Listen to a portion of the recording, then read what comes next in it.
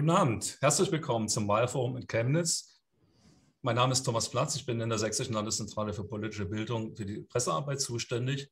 Die Landeszentrale hat bereits bei den Wahlforen zur Landtagswahl, äh, zur Landtagswahl äh, 2019 äh, Wahlforen äh, durchgeführt. Wir haben Bürger eingeladen, Bürgerinnen äh, mit Politikern ins Gespräch zu kommen. Äh, wir haben damals gemerkt, der Bedarf ist sehr groß an Informationen, am direkten Austausch und am Diskurs. Uns ist im Nachhinein von vielen Besucherinnen und Besuchern der Wahlforen beschieden worden, das hat Ihnen geholfen bei Ihrer Wahlentscheidung, hat Sie gestärkt bei Ihrer bei ihrer Wahlentscheidung oder vielleicht auch äh, ihnen noch andere Impulse gegeben. Äh, daher äh, war für die Landeszentrale für politische Bildung äh, klar, zur Bundestagswahl 2021 werden wir wieder Wahlforen durchführen. Zwei Wahlforen pro Wahlkreis, das sind 32 Wahlforen in ganz Sachsen. Das geht nur mit Partnern.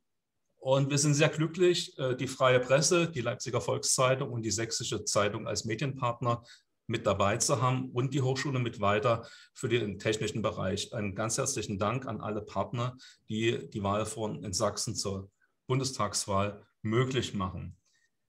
Der technische Bereich, auf den kommt es heute besonders an. Äh, dieses Wahlforum findet leider nur online statt, nicht im Chemnitzer Hof, so wie wir es ursprünglich geplant hatten. Grund ist eine Sondersitzung des Bundestages und drei von unseren Kandidaten hätten nicht vor Ort sein können. Und da war die Entscheidung relativ klar. Wir wollen keine Absage, kein halbes Wahlforum, sondern mit allen Wahlkreiskandidatinnen und Kandidaten, die in einer aussichtsreichen Partei, für eine aussichtsreiche Partei am Start sind, ins Gespräch kommen. Daher die Entscheidung, dieses Wahlforum online anzubieten. Frau Köpfe, Herr Heinrich, Herr Müller, Herr Klonowski, Herr Müller-Rosentritt und Herr Detzner, vielen Dank für Ihre Beteiligung bei diesem Wahlforum. Vielen Dank für die Flexibilität beim Formatwechsel. Und ich darf Sie heute kurz begrüßen. Die richtige Vorstellung der Kandidatinnen und Kandidaten übernimmt Ronny Schilder von der Freien Presse. Als Leiter der Lokalredaktion Chemnitz kennt er die Kandidatinnen und Kandidaten im Wahlkreis Chemnitz sehr viel besser. Und zudem übernimmt Herr Schilder die Moderation des Abends. Herr Schilder, ich darf Sie herzlich begrüßen. Guten Abend. Herr Schilder hat sicher viele Fragen an die Kandidatinnen und Kandidaten, liebe Zuschauerinnen und liebe Zuschauer. Wir sind aber auch sehr neugierig auf Ihre Fragen. Beteiligen Sie sich bitte. Stellen Sie bitte Ihre Fragen im Kommentarfeld bei YouTube oder Facebook und wir werden sie in die Diskussionsrunde mit einbringen. Neugierig bin ich auch auf die Themen des Abends, denn diese stehen noch nicht fest. Diese bestimmen Sie, liebe Zuschauerinnen, Zuschauerinnen und Zuschauer. Es gibt sieben Themen, die zur Abstimmung stehen und worüber Sie bei www.menti.com abstimmen können. Äh, das wird noch eingeblendet, keine Sorge, äh, auch äh, der Abstimmungscode für die heutige Veranstaltung. Die Themen sind Außenpolitik und EU, Innenpolitik, Demokratie, innere Sicherheit und Integration, Gesundheit, Arbeit und Soziales, Wirtschaft, Finanzen und Steuern, Klima, Umwelt und Landwirtschaft, Wohnen, Verkehr, Stadt und Land und zu guter Letzt Digitalisierung und Datenschutz. Die bestplatzierten Themen werden diskutiert. Es sind sieben Themen. Sie haben drei Stimmen. Sie können für drei Themen abstimmen unter www.menti.com. Der Code für die Veranstaltung lautet 382948 01. Der Code ist unten rechts eingeblendet. Ich wiederhole ihn nochmal. 38294801. Die Abstimmung bleibt für die nächsten Minuten offen. Und ich bin sehr gespannt, worüber wir heute Abend diskutieren werden. Ich freue mich auf eine angeregte, gern auch kontroverse, aber sachliche Diskussion und gebe an Herrn Schildern.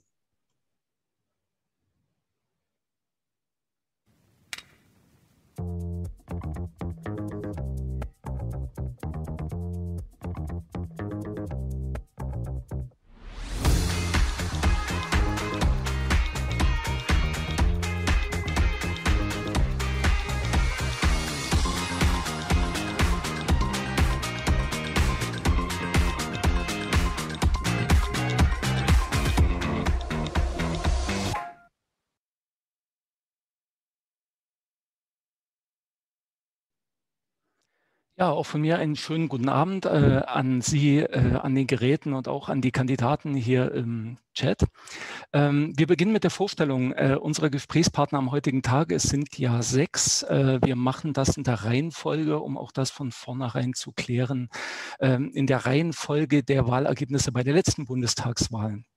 Wir werden uns also von Herrn Heinrich von der CDU zu Frau Köpfer von Bündnis 90 den Grünen vorarbeiten nach den Ergebnissen des letzten Males. Wir werden es auch so machen, dass ich nicht die Biografien äh, der sechs Teilnehmer nacheinander vortrage, sondern ich würde das gerne immer mit jeweils einer Frage an den Kandidaten, an die Kandidatin verknüpfen, äh, damit wir ein kleines bisschen warm werden für die Diskussion. Wir beginnen mit Herrn Heinrich. Herr Heinrich, äh, der ja fast so lange im Bundestag ist wie Frau Merkel an der Regierung, nicht ganz, da fehlen noch ein paar Jahre, aber es geht in die Richtung. Ähm, Herr Heinrich, Sie sind vielleicht derjenige, der uns erklären kann, was vorige Woche in Chemnitz passiert ist, ähm, als die Stadt sich auf ein Wasserstoffforschungszentrum gefreut hat, es schon einen Termin für die Bekanntgabe gab, dieser Termin dann geplatzt ist und Chemnitz mit 30 Millionen Euro Forschungsgeldern weniger dastand äh, als ursprünglich geplant. Äh, das Ganze ist irgendwo in Berlin passiert. Man hört in Chemnitz nichts Genaues. Wissen Sie Näheres? Also ganz herzlichen Dank erstmal in die Runde, Herr Schilder und Herr Platz. Äh, auch von mir finde ich toll, dass das so passiert. Ähm, nein, man kriegt nicht alles mit. Das, ähm, trotzdem sind wir natürlich nah dran und dann auch wir spekulieren natürlich in die eine oder andere Richtung. Wir waren erstmal schon froh, dass die Spekulationen in der Woche vorher als Chemnitzer, mhm. als äh, wir als Sachsen, dass es einen Zuschlag gibt für Chemnitz. Wir wussten, dass das 3 plus 1 ein Gedanke war, der im Raum steht. Und dann werden immer auch natürlich noch andere ähm, Maßstäbe mit angelegt, sei es die Unterstützung aus der Region, sei es Fördermittel von anderer Seite. Wer hat es gedreht, wenn ich, Sie, wenn ich Sie kurz unterbrechen darf? Wer hat es gedreht? Ja, Wer hat es gedreht? Ich nicht beurteilen. Ich kann es nicht wissen. Ich weiß, dass es nochmal aufgehalten wurde. Okay. Es ist möglich, dass eine der anderen drei Regionen, dann ist verdächtig am ehesten Bayern, äh, nochmal gesagt hat, sorry, stopp, wir müssen nochmal was ändern. Ähm, ich bin aber von der einen Seite dankbar, dass es so geworden ist und dass es 60 Millionen geworden sind als Startkapital. Und ähm, jetzt ist es, glaube ich, auch verschüttete Milch. Das hat sowohl was mit Qualität als okay. auch mit äh, Quotienten zu tun in der bundesdeutschen Landschaft. Alles klar, dann lassen wir das so stehen, Herr Heinrich. Äh, Frank Heinrich, geboren in Siegen in Nordrhein-Westfalen, 57 Jahre alt, verheiratet, vier Kinder. Er ist ausgebildeter Theologe und Sozialpädagoge, hat von 1997 bis 2009 die Heilsarmee in Chemnitz geleitet. Seit 2009 ist er Mitglied des Deutschen Bundestages, ist 2013 und 2017 wiedergewählt worden, wenn man so will, der Titelverteidiger. Er ist vielfach engagiert im sozialen und christlich-evangelikalen Bereich. Im Bundestag hat er sich unter anderem eingesetzt für Arbeit Arbeit und Soziales, Menschenrechte und humanitäre Hilfe. Nochmal herzlichen guten Abend, Herr Heinrich. Guten Abend nochmal, ja. Wir kommen zum zweiten Kandidaten. Äh, nach dem Wahlergebnis äh, vor vier Jahren war das äh, die AfD, Herr Klonowski. Ähm, wenn man heute durch die Straßen geht, dann sind das ja immer so die Wahlplakate und Wahlslogans, die alle, allen ins Auge fallen. Ähm, Herzverstand Chemnitz heißt da soziale Politik für dich oder auch bereit, weil ihr es seid. Das Wahlprogramm der AfD heißt Deutschland aber normal. Das habe ich auch auf Plakaten gesehen. Herr Klonowski, Sie kandidieren in einer Stadt, in der Sie nicht leben, für eine Partei, der Sie nicht angehören. Was ist daran normal? Hm.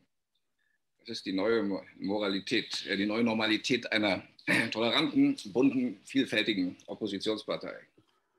Ja, das führen wir jetzt ein. Und das ist Sarkasmus. okay. Ist ja so, also ich bin ja, ich bin ja der Meinung, man sollte Leute nicht äh, nach ihrer Herkunft aussuchen, sondern äh, nach ihrer unterstellten Kompetenz, nach ihren Möglichkeiten und Fähigkeiten. Und äh, das unter Beweis zu stellen, bin ich da. Ja. Wo ich herkomme, ist in dem Fall, glaube ich, sekundär. Aber ich bin immerhin gebürtiger Sachse, was ich gern bei dieser Gelegenheit betone. Das klären wir jetzt auf. Michael Klonowski, geboren 1962 in Schlema, heute Bad Schlema im Erzgebirge, verheiratet in zweiter Ehe, vier Kinder.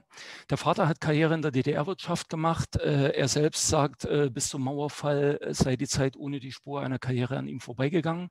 Er ist danach Journalist geworden und ist über die Zeit in die Gründungsredaktion des Fokus gelangt. Der Fokus damals eine konservativ angelegte Alternativgründung zum Spiegel. Er war 20 Jahre beim Fokus tätig auch in leitender Position, ist dann 2016 als Berater zu Frauke Petri gewechselt, blieb das einige Monate, es kam zum Zerwürfnis, er wurde bei der AfD-Landtagsfraktion in Baden-Württemberg vorübergehend aufgenommen.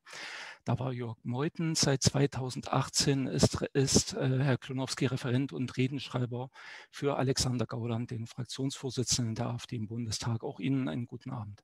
Guten Abend. Herr Detzner.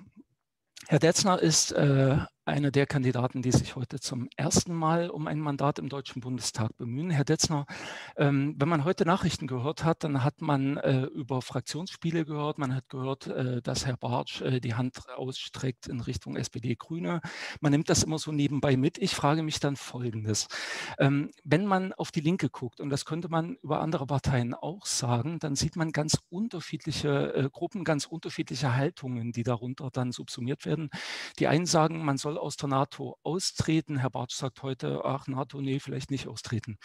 Meine Frage an Sie, wenn Sie in den Bundestag gewählt werden sollten, wie standfest sind Sie dann in Ihren Positionen? Ja, guten Abend. Vielen Dank für die Frage. Also standfest in unseren Positionen werden wir auf jeden Fall sein, ich auch. Ähm, es ist egal, ob also die, die Linke hat gezeigt über 30 Jahre, dass sie gut Opposition kann im Deutschen Bundestag.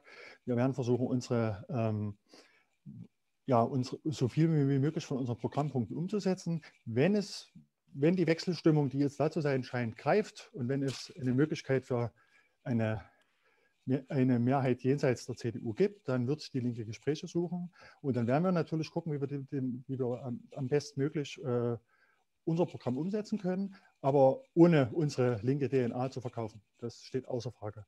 Okay, das sagt Tim Detzner, geboren in Karl-Marx-Stadt, 42 Jahre alt, äh, in einer langjährigen Partnerschaft, drei Kinder. Herr Detzner hat Soziologie, Politikwissenschaft und Geschichte an der TU in Chemnitz äh, studiert, bezeichnet sich selbst als tief in Chemnitz verwurzelt. Ähm, politisch aktiv seit den 90er Jahren, zuerst in der Antikriegs-, globalisierungskritischen Umweltbewegung. Seit 2010 ist er Mitglied der Linken, seit 2017 der Stadtvorsitzende der Linken in Chemnitz. Seit 2004 arbeitet er als persönlicher Mitarbeiter von Abgeordneten des Sächsischen Landtags, aktuell bei Nico Brünler. Und wie bereits gesagt, er bewirbt sich zum ersten Mal als Direktkandidat. Willkommen in der Runde. Danke. Herr Müller, das ganze Land redet zurzeit gerade wieder über Lokführer. Äh, Sie machen das auch immer gerne aufgrund Ihres beruflichen Hintergrunds. Ähm, meine Frage an Sie, Ihr Beruf fällt, wenn man auf den Bundestag blickt, immer auf. Ähm, der Bundestag ist ja dominiert von Juristen. Neuerdings habe ich Juristen klagen hören, es kämen zu viele Politikwissenschaftler hinzu.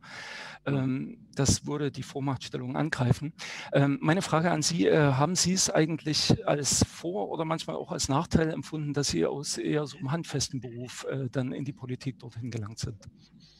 Ja, guten Abend, Herr Schilder, guten Abend in die Runde. Eher als Vorteil. Also eher wirklich als Vorteil, weil ähm, es gibt da gewisse, zumindest bei meinem Beruf, gewisse Grundtugenden, auch wenn Sie mir das vielleicht nicht abnehmen, wie zum Beispiel Pünktlichkeit, äh, worauf ja die Bahn und auch Lokführer durchaus achten muss. Pünktlichkeit, dann auch Themen bis zu Ende zu durchdenken, weil man manchmal weiß, äh, dass man auch vom Ende her denken muss. Ich denke, ein ganzes, es ist, ist ein guter, ein guter Schnitt, wenn man ein bisschen wirklich Praxisbezogenheit aus dem Beruf mitbringt, auch weiß, wie sozusagen Schichtarbeit funktioniert, obwohl das natürlich bei mir auch 15 Jahre her ist, aber ich weiß es es zumindest noch. Und ich denke, das ist sehr, sehr wichtig. Wenn denn der Bundestag wirklich ein Abbild der deutschen Gesellschaft sein will und sein muss, muss es ja nicht bloß von, den, von der Geschlechterfrage her ein Abbild sein, sondern meiner Meinung nach auch von der, von der, vom beruflichen Hintergrund her. Und es kann nicht alle nur Gewerkschafter sein oder Politikwissenschaftler oder ja, Rechtsanwälte immer ans Ende gucken, dass da kein Prellbock steht. Das war Detlef Müller. Detlef Müller ist geboren in Chemnitz, 57 Jahre alt, äh, Altersgenosse von Herrn Heinrich, verheiratet, vier Kinder, äh, Ausbildung zum Lokführer, wie eben erwähnt, Weiterbildung dann auch in Sachen des Personalwesens, da auch tätig, zuletzt als Teamleiter bei der Erzgebirgsbahn. Herr Müller ist seit 1990 Mitglied der Sozialdemokratischen Partei, seit 1994 Stadtrat, Mitglied des Deutschen Bundestages von 2005 bis 2009 und dann wieder seit Dezember 2014. Er hat sich im Bundestag vor allem oder unter anderem auch mit Fragen der Stadtentwicklung und der Mobilität befasst. Äh, auch an Sie nochmal ein herzliches guten Abend. Und wir kommen Abend. zum wir kommen zum fünften Bewerber. Frank Müller-Rosentritt, äh, Sie sind, wenn man sich auf Ihre Biografie einlässt, äh, in einer Stunde bei den Liberalen eingetreten, äh, die in der Partei wahrscheinlich bis heute als eine dunkle Stunde gilt. Für die Jüngeren unter uns, äh, die FDP war äh, eigentlich immer Bundestagsinventar gewesen, bis es dann äh, irgendwann mal nicht mehr gereicht hat. In dieser Zeit, Herr Rosentritt, haben Sie sich entschieden, in die Politik zu gehen und dort Karriere zu machen. ist das etwas, ähm, was sich im Nachhinein als gute Entscheidung herausgestellt hat? Hat es das leichter oder schwerer gemacht? Ja, ich bin nicht eingetreten, um in der Politik Karriere zu machen. Ich bin damals für bestimmte Werte eingetreten. Äh, das war damals der Zeitpunkt, als in Teilen der Gesellschaft in Sachsen so einen Rechtsruck gab. Ich habe Pegida gesehen in Dresden. Ich war Leiter Private Bank in der Deutschen Bank in Dresden und habe gesehen, welchen Schaden am Ende das auch äh, zuführt, auch Image vor allem für Sachsen. Ähm, und ich hatte gedacht, was äh, sagen meine drei Töchter mal, wenn ich mal auf dem Sterbebett liege und die fragen mit Vater, was hast du eigentlich in der Zeit getan, als es in Sachsen in Teilen der Gesellschaft so einen äh, Rechtsruck gab? Hast du da irgendwie zugeguckt, mitgemacht oder im besten Fall was dagegen getan? Und ich habe damals äh, für mich gedacht, irgendwas muss ich tun. Ne? Äh, und ich habe mich dann tatsächlich eben zur Wahl gestellt, denn es gab damals eben für mich den Anspruch, man muss nicht aus Frust vor Stillstand in diesem Land automatisch, automatisch Rassismus, äh, völkisches Gedankengut wählen. Man kann auch aus Frust vor Stillstand in dem Land Weltoffenheit Offenheit, Toleranz, Vielfalt ähm, und so weiter wählen. Und damit dafür bin ich angetreten. Und das Risiko einer Wahl, das ist die Wissenschaftler unter uns wissen das, das Risiko ist die Standardabweichung vom Mittelwert. Das heißt, du hast eben auch das Risiko, gewählt zu werden. Und das ist damals bei mir eben auch, äh, auch äh, geschehen, ohne dass ich das tatsächlich in meiner Lebensplanung je vorhatte. Ähm, und äh, bin tatsächlich froh, dass es so gekommen ist. Und deshalb bewerbe ich mich auch um in diesem Jahr wieder, um die Früchte der Arbeit auch quasi ernten zu können.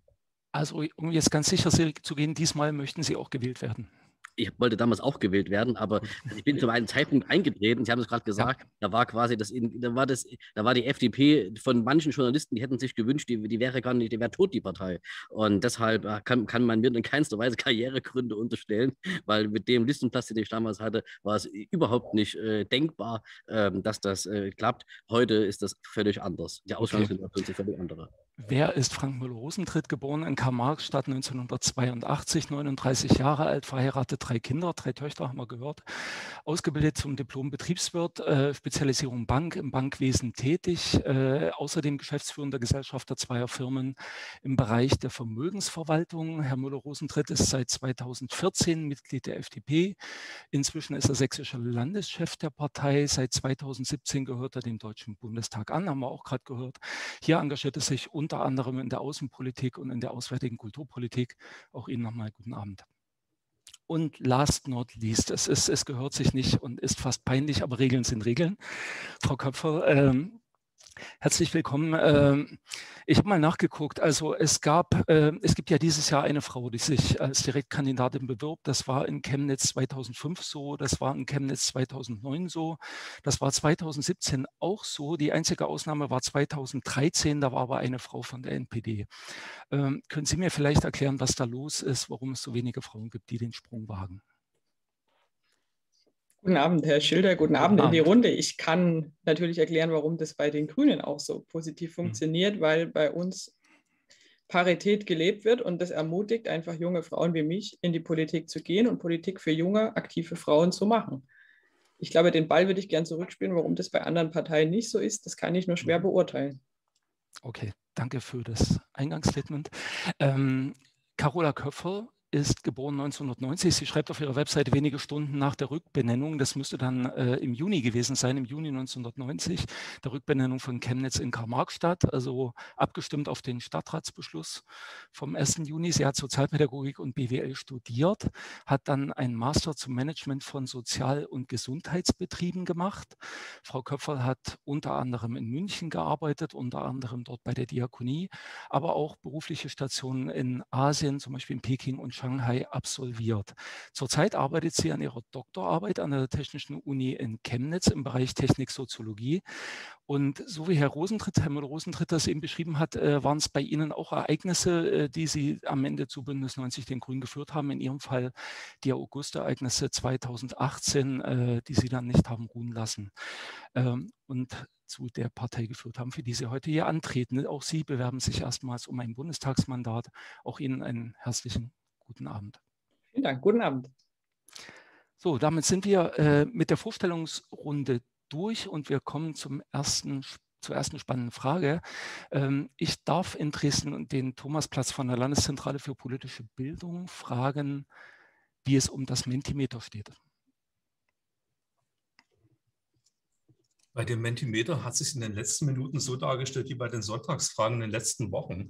Ähm, alles sehr eng, aber es gibt kein Pad, äh, es gibt ein klares Ergebnis. Ähm, ich gehe mal der Reihe durch. Die Außenpolitik und EU 4 Prozent, Innenpolitik, Demokratie, innere Sicherheit, Integration 9 Prozent, Gesundheit, Arbeit und Soziales 24 Prozent, Wirtschaft, Finanzen, Steuern 7 Prozent, Klima, Umwelt, Landwirtschaft 23 Prozent, Wohnen, Verkehr, Stadt und Land 15 Prozent, Digitalisierung und Datenschutz 18 Prozent. In der Reihenfolge ergibt sich Folgendes. Platz 1 Gesundheit, Arbeit und Soziales mit 24 Prozent. Platz 2 Klima, Umwelt und Landwirtschaft mit 23 Prozent. Und Platz 3 Digitalisierung und Datenschutz mit 18 Prozent. Das ist das Programm des Abends, Herr Schilder. Okay. Ich habe mal hier die Zettel sortiert. Äh, wir können, glaube ich, aus äh, der Erfahrung der anderen Foren sagen, dass Arbeit äh, Gesundheit sozial ist. Nehmen wir noch Rente dazu. Das kommt im Prinzip immer mit.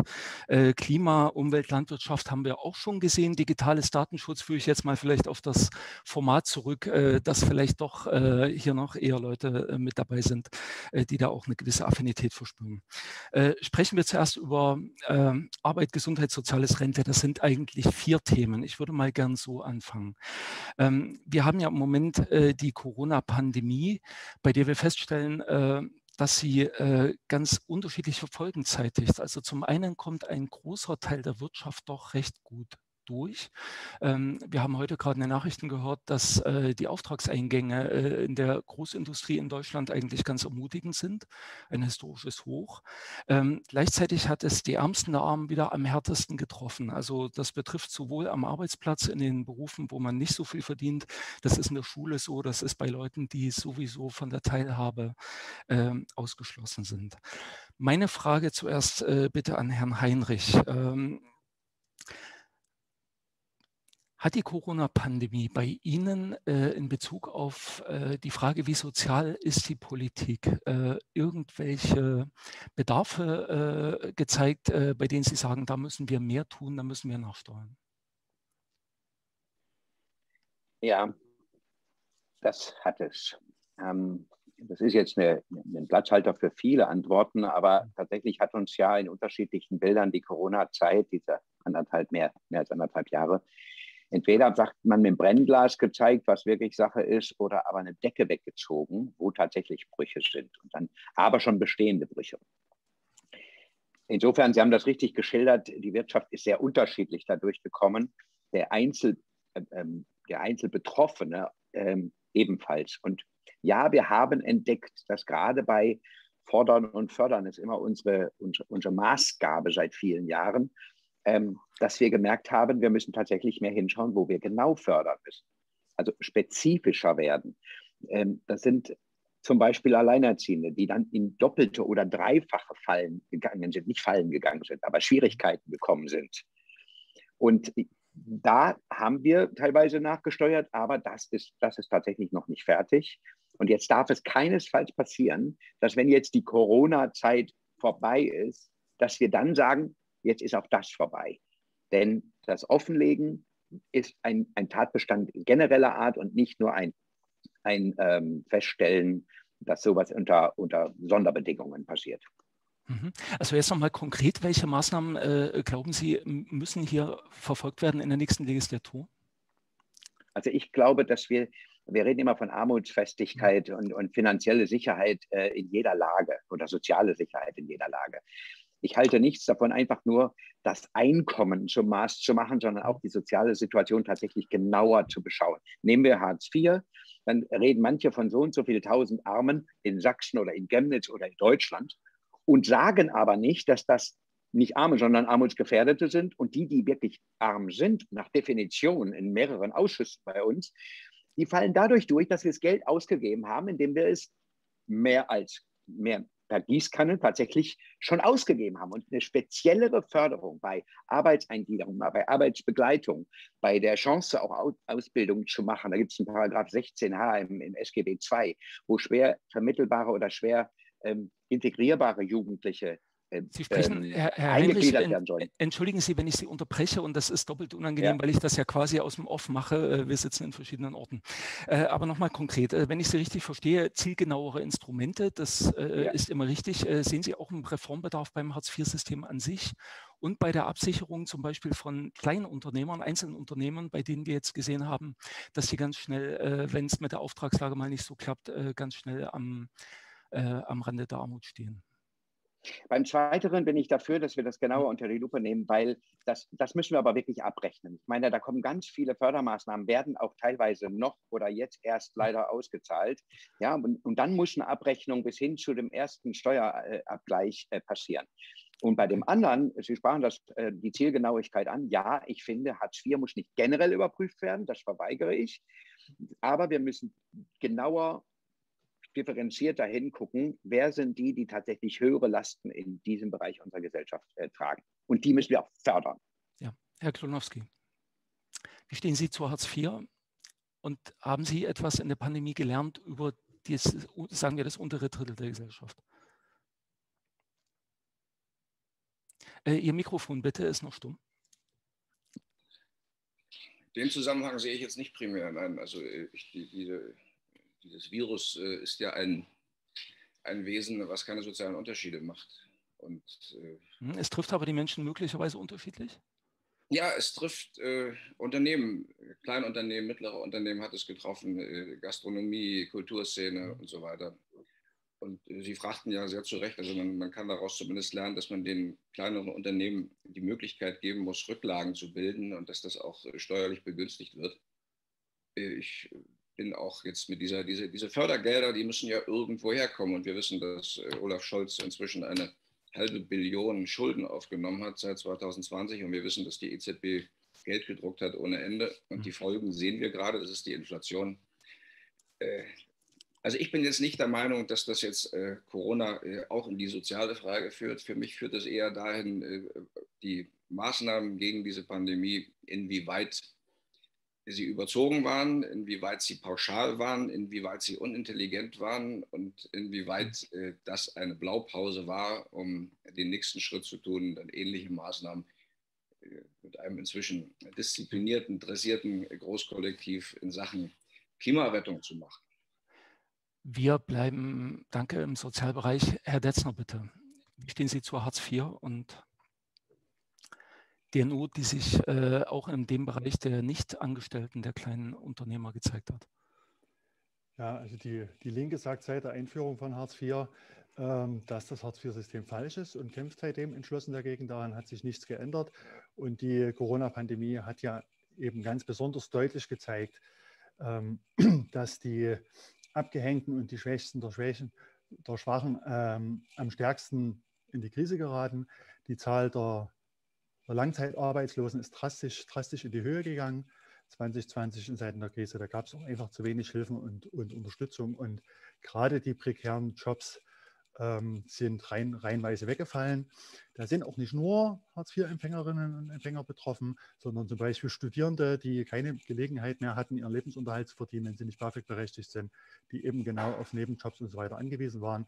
Und da gibt es eine ganze Reihe von sozialen Gruppen, die einfach massiv unter die Räder geraten sind. Die Hilfsangebote, Hilfsprogramme der Politik waren dort eindeutig zu wenig, eindeutig falsch und führen auch zu äh, absolut unnachvollziehbaren, skurrilen Ergebnissen. Gerade im Bereich der Kleinunternehmer und der Solo-Selbstständigen ist immer gesagt worden, Leute, vertraut uns, nehmt die Soforthilfen in Anspruch, es ist überhaupt kein Problem. Und was passiert jetzt? Jetzt, jetzt gibt es tausende Fälle, von äh, angefangenen Ermittlungsverfahren, von Rückforderungen, äh, von Vorwürfen von an, angeblichen Subventionsbetrug, weil die Menschen im guten Glauben, gerade in der Kunst und Kultur und gerade die, die Solo-Selbstständigen, im guten Glauben alle schnell zusammengeschlossenen Förderrichtlinien äh, für sich angenommen haben und die Töpfe angetappt haben und gesagt, alles klar, Politik sagt, ich helfe. Und jetzt stehen die Leute doppelt im Regen.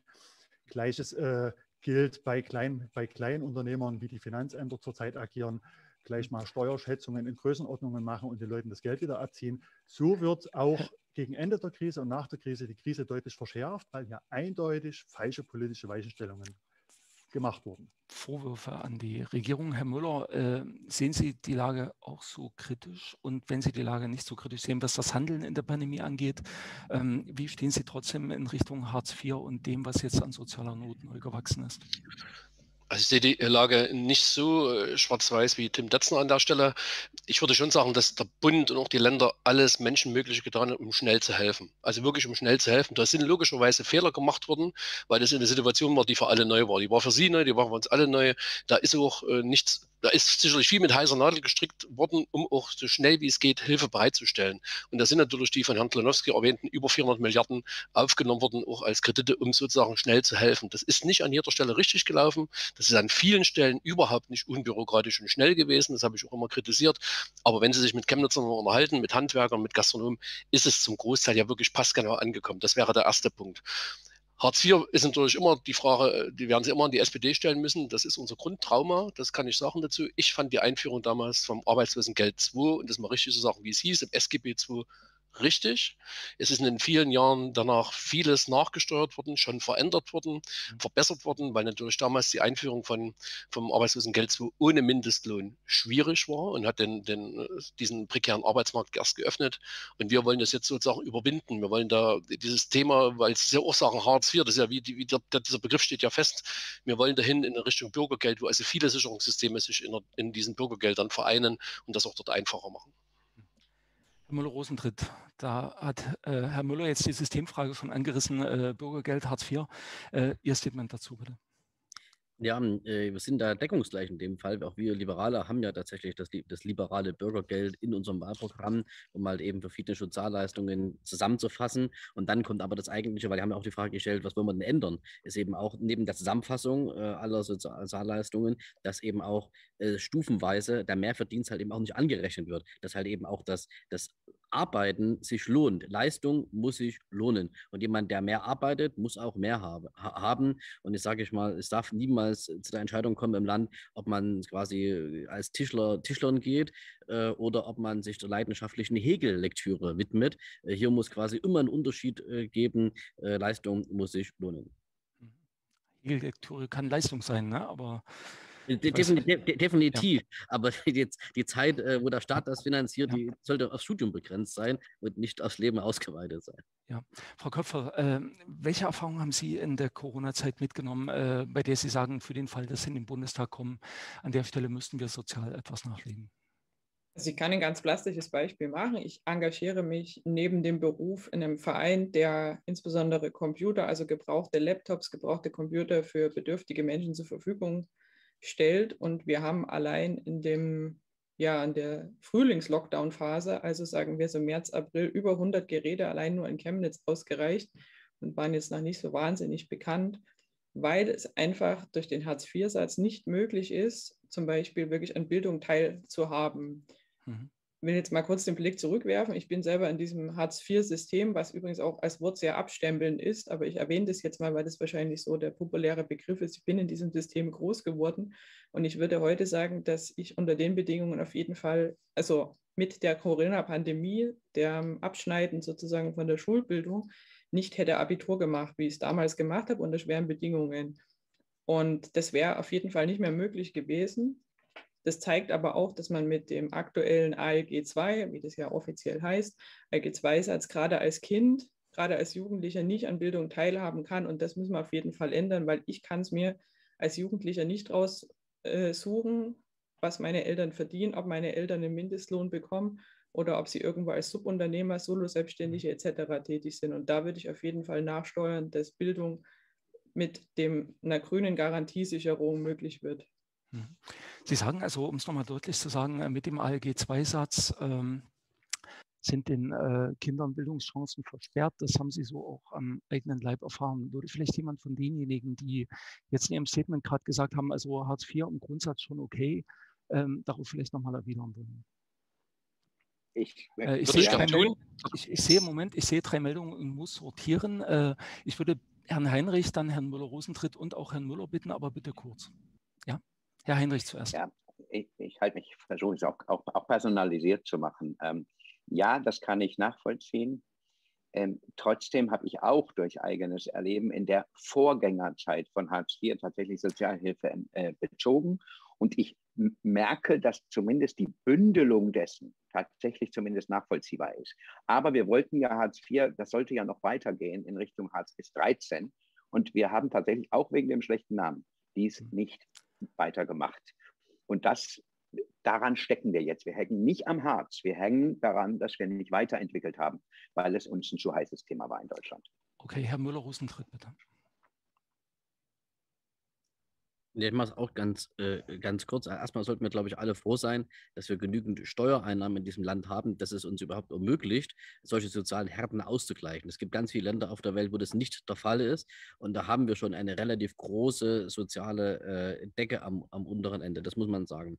Aber, und da gebe ich Carola Köpfel total recht, und das ist ja dieses, auch dieses liberale Aufstiegsversprechen. Deshalb haben wir gemeinsam mit der SPD in den 70er Jahren der sozialliberalen Regierung äh, das BAföG eingeführt. Eine liberale, eine FDP-Erfindung, dass das, dass dass, das, dass, da, dass, das, dass das Möglichsein des Studiums nicht abhängig ist von der Postleitzahl deines, äh, so, und das darf nicht passieren. Es muss unabhängig von deinem dein Vermögen deiner Eltern, vom Bildungsstand der Eltern möglich sein, dass man alles erreichen kann. Bei Köpfer sieht man, dass es, dass, es dass es funktioniert. Aber ja, deshalb sind wir auch für ein Kinderchancengeld. Das heißt, dass, es, dass das Geld quasi direkt zu den Kindern fließt, äh, direkt quasi an die, äh, an, an, an, dass, es, dass das nicht entschieden werden kann, dass, der, dass die Eltern quasi das Zweck entfremden für andere Dinge, sondern dass es wirklich beim Kind ankommt äh, und für Bildung ausgegeben wird. Denn äh, das Bildungserfolg äh, darf nicht vom, vom Vermögen oder vom Studienabschluss der Eltern abhängen. Herr Müller, bitte. Ja, also wie gesagt, die damalige Entscheidung, das Zusammenlegen von Arbeitslosenhilfe und Sozialhilfe war richtig, auch mit dem pauschalisierten Betrag, um auch Bürokratie einzu, einzusparen oder zurückzudrängen. Es ist bloß im Laufe der Zeit äh, völlig ausgeufert. Wir wissen ja, dass äh, die Leistung damals nicht ausgereicht hat. Da hat Carola Köpfer vollkommen recht. Man braucht nämlich eine eigene Kindergrundsicherung zum Beispiel als eigenen Betrag. Das wäre ein Beispiel. Und man hat mit eigenen Gesetzen, mit Teilhabechancengesetzen, mit, mit, mit äh, anderen Gesetzen, die der Bund gemacht hat, das Land gemacht hat, aber auch die Kommune, wie in Chemnitz war immer versucht, noch ein Stück weit nachzusteuern. Und das ist durch so ein, ein, ganz bunter Blumenstrauß von verschiedensten Hilfemöglichkeiten, die aber die Leute auch maßlos überfordert, also an die Leistung ranzukommen, Formulare auszufüllen und sowas. Und deswegen muss es dort einfacher gehen mit einer Kinder Kindergrundsicherung, die die ordentlich ausgestaltet sein muss mit einem eigenen, mit einem eigenen Grundsicherungsbetrag für die Kinder, die aber auch die Bildungsleistung mit umfasst. Und dann äh, wäre vielleicht eine Vereinfachung, eine Pauschalisierung wirklich nötig und möglich. Also grundsätzlich, äh, wenn ich das zusammenfassen darf, äh, Beibehaltung, Weiterentwicklung und Vereinfachung äh, des bestehenden Systems bei den Herren. Ähm, ich schaue mal kurz zum Thomas Platz in der Landeszentrale, der den Chat im Auge hat. Äh, haben wir da schon Wortmeldungen? Ja, einige Fragen sind schon indirekt mit beantwortet worden äh, zum mhm. Komplex Gesundheit, Arbeit und Soziales. Äh, unter anderem die Frage, ähm, wie kann der Staat die Schere zwischen Arm und Reich minimieren, also Deutschland sozial gerechter machen? Und auch die Frage, wie stellen sich die Kandidaten und Kandidatinnen äh, armutsfeste Löhne und Renten vor? Stehen Sie für eine Erhöhung des Mindestlohns? Wo soll das Geld herkommen? Und dann äh, zwei Fragen, die direkt an einzelne Kandidaten gehen. An Herrn Müller. Warum hat Herr Müller gegen ein Selbstbestimmungsgesetz gestimmt, hält er das Transsexuellengesetz als zeitgemäß. Und an Herrn Müller-Rosentritt, wie will die FDP das finanzieren, wenn alle Steuern gesenkt werden sollen und die Staatseinnahmen durch, durch das FDP-Programm deutlich sinken? Ich würde vielleicht vom Sortieren her äh, Herrn Müller-Rosentritt äh, zuerst äh, bitten, die Finanzierungsfrage äh, zu beantworten und äh, danach Herrn Müller auch kurz äh, zu der Frage Stellung zu nehmen. Ähm, wir haben hier zwei Möglichkeiten. Ja, wir gehen nicht darauf ein, weil es ein bisschen off-topic ist, aber ich glaube, es ist schon wichtig, wenn es jemanden interessiert, dass man dazu was sagt. Also Herr Müller-Rosentritt zuerst, wie finanzieren? Bitte in Kurzfassung. Äh, ich kann es ganz kurz machen. Wir haben in der Laufe ja. der Legislaturperiode genau 539 Änderungsanträge geschrieben, äh, die quasi ausschließlich darauf ausgerichtet waren, zu entlasten. In ganz vielen verschiedenen äh, Punkten. Das geht bei, das geht bei Subventionen los, das geht bei einer neuen Priorisierung von bestimmten Themen weiter. Man kann das, ähm, es gibt nicht das eine Thema, wo man das hat. wir können das, ich kann das gerne nachreichen, wo wir alle Änderungsanträge gesammelt den Leser der, oder den Zuhörer einreichen. Aber das sind wirklich, das geht bei, geht bei Subventionen, es geht bei Subventionen Expansion los äh, und viele, viele andere Dinge, weil wir wirklich uns immer überlegen als FDP-Fraktion, wo können wir sparen, bevor wir wieder über neue Ausgaben sprechen. Deshalb ist uns, wie gesagt, auch das Thema ähm, Priorisierung ein ganz wichtiges. Hm. Herr Müller, es geht um die Gleichstellung von ja. Transsexuellen. Es geht um ein konkretes Abstimmungsverhalten. Ich bitte aber nicht zu tief in das Thema einzusteigen, weil es doch etwas. Nein, das werde ich nicht, aber ich bin ja. da schon sehr oft jetzt gefragt, auch beim ja. Chemnitzer CSD. Das äh, ja. treibt die Klientel ganz schön um, kann man, kann man auch nachvollziehen. Wir haben einen eigenen Entwurf eines neuen transsexuellen Gesetzes äh, vorgelegt, haben das in den Ausschüssen in der Beratung, haben das auch in der Arbeitsgruppe in der Beratung. Und wie das halt so ist in einer großen Koalition, sind wir damit im Gespräch mit unserem Ko Koalitionspartnern CDU und CSU, werden das sicherlich in dieser Legislatur nicht mehr bis zum Abschluss bringen. Aber dieser Entwurf, den wir vorgelegt haben, der unterscheidet sich von den, äh, den Linke, Grüne und auch die FDP vorgelegt hat. Und ich stehe dann schon zum eigenen Entwurf und wir wollen versuchen, den dann in der nächsten Legislatur umzusetzen. Okay, danke ähm, wir uns es aufgegeben, uns über Arbeit, Gesundheit, Soziales äh, hinweg in Richtung Klima, Umwelt vorzuarbeiten. Und das werden wir dann ab jetzt auch tun. Äh, das als Hinweis an die Zuschauer im Chat. Aber äh, Fragen äh, ist trotzdem immer gut. Wir können die Fragen sicher auch äh, außerhalb der Veranstaltung weitergeben. Ähm, eine zweite Frage zu unserem Themenbereich. Seit äh, Jahrzehnten, wenn man das verfolgt, ist die Rente in der Diskussion und die Finanzierung der Rente. Ein zweites großes Thema, das die Menschen auch immer sehr interessiert. Ähm, die demografische Welle rollt. Äh, ich glaube, jeder weiß, dass wir ja ein Umlageverfahren haben und dass die Gefahr besteht, dass die Menschen, die aktuell arbeiten, äh, das Rentenvolumen nicht mehr erarbeiten können, äh, das beansprucht wird, wenn sich da nicht systemisch was ändert. Meine Frage, Herr Heinrich, kann es in dieser Legislaturperiode, und ich sage das bewusst, dass es irgendwann etwas passieren muss, ähm, das erinnert mich an den, an den Prellbock von Herrn Müller, äh, kann es in den nächsten vier Jahren äh, grundsätzliche Fortschritte bei der Stabilisierung unseres Rentensystems geben und wie könnten die Ihrer Meinung nach aussehen? Also ich bin dankbar für die Frage. Wir müssen uns tatsächlich einen Kopf machen und wir müssen uns ehrlich machen, was das angeht. Ich meine, wir sind als Chemnitz vor 12 oder 15 Jahren gab es mal den Ruf, dass wir die älteste Stadt äh, Europas würden bis 30. Ähm, erleben das sozusagen vielleicht ein bisschen vor allen anderen Städten, aber müssen uns ehrlich machen, dass das, was Sie gerade, Herr Schilder, gesagt haben, tatsächlich auf uns zukommt. Die Frage ist dann, wie kann man das dauerhaft finanzieren? Wir haben für uns gesagt, die Umlage ist als solches stabil. Vorsicht, nicht, das ist nicht der gleiche Satz, den, äh, den ein ehemaliger Sozialminister gesagt hat. Aber sie ist zumindest, was die Rentenpunkte, so viel wird es am Schluss auf jeden Fall immer geben. Das ist nicht mehr armutssicher. Zumindest nicht in der Zukunft und in, ab den Jahrgängen, die meine Jahrgänge, also ich bin der, der, der, mit, mit Herrn Müller zusammen der, der Jahrgang, der die meisten ähm, Geburten hatte.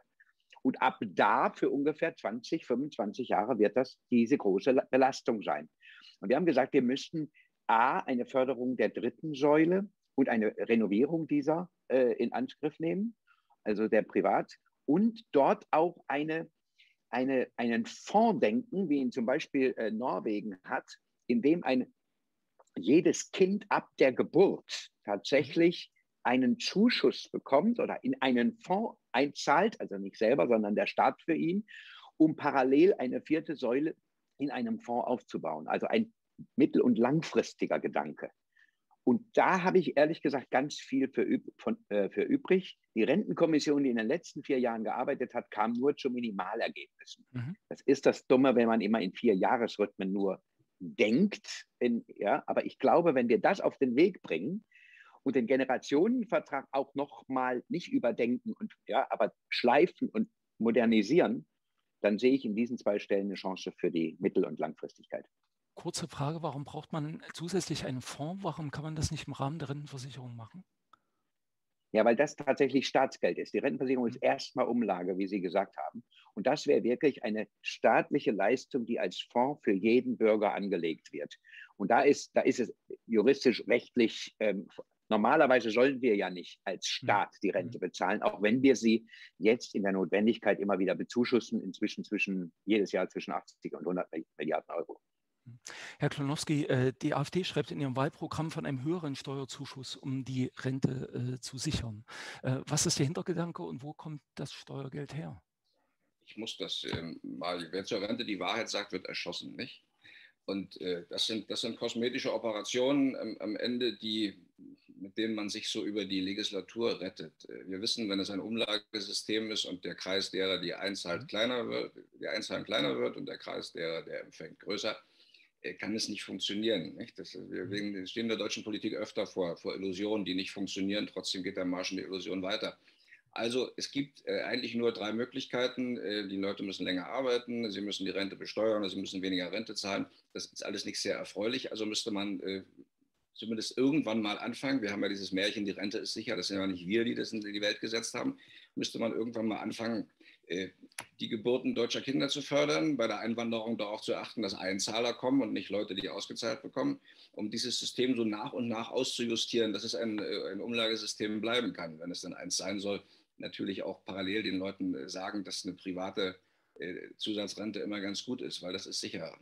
Jetzt bringen Sie das auf Geburtenförderung und äh, Migrationssteuerung, sage ich mal. Äh, das reicht aber ja wohl nicht, um äh, das System jetzt in den nächsten 10, 15, 20 Jahren zu stabilisieren.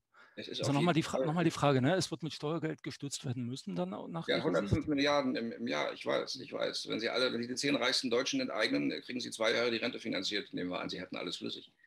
Das ist, äh, ist das der Plan?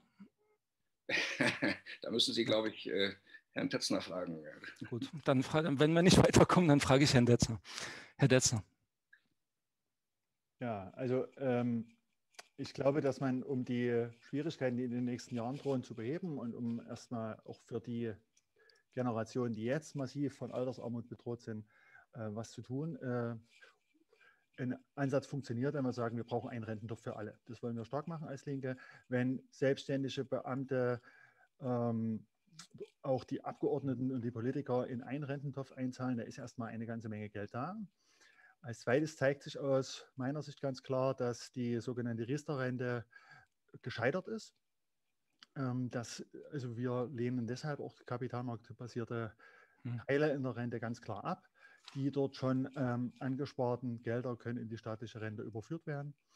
Und das ähm, spült aus unserer Sicht so viel Geld in die Rentenkasse, dass das Renteneintrittsalter wieder abgesenkt werden kann auf 65 Jahre, dass das Rentenniveau wieder auf mindestens 53 Prozent angehoben werden kann. Und vor allen Dingen brauchen wir eine solidarische, eine solidarische Mindestrente von 1200 Euro, um Altersarmut zu verhindern. Und um die Renten langfristig äh, zu stabilisieren und um Altersarmut zu verhindern, brauchen wir in erster Linie höhere Löhne. Wer im Osten den Durchschnittslohn verdient, kriegt weniger, sammelt weniger als einen Rentenpunkt im Jahr. Und damit ist Altersarmut, vor, Altersarmut vorprogrammiert. Insofern müssen wir, um über Rente zu reden, auch über Arbeit und über Lohn reden. Es ist immer die, die ähm, äh, über höhere Löhne das sind dann solche äh, äh, Maßnahmen, die dann erst später äh, ihre, ihre Konsequenzen äh, zeitigen. Herr Müller, äh, als Praktiker im Bundestag an Sie nochmal die Frage wirklich auf den Horizont der nächsten vier Jahre oder sag mal acht Jahre. Ähm, was kann man und was muss man jetzt tun? ein Vorschlag, der von Herrn Derzner jetzt genannt wurde, wird ja oft gesagt, das ist diese Erweiterung des Kreises der Beitragszahler. Ist das ein Weg? Geht aber, glaube ich, nicht so einfach. Das ist sicherlich der richtige Weg. Das steht auch bei uns im Wahlprogramm. Da verstehe ich auch. Habe damals auch so einen Antrag zugestimmt, dass zum Beispiel die Abgeordneten des Deutschen Bundestages auch in die gesetzliche Rentenkasse einzahlen müssen.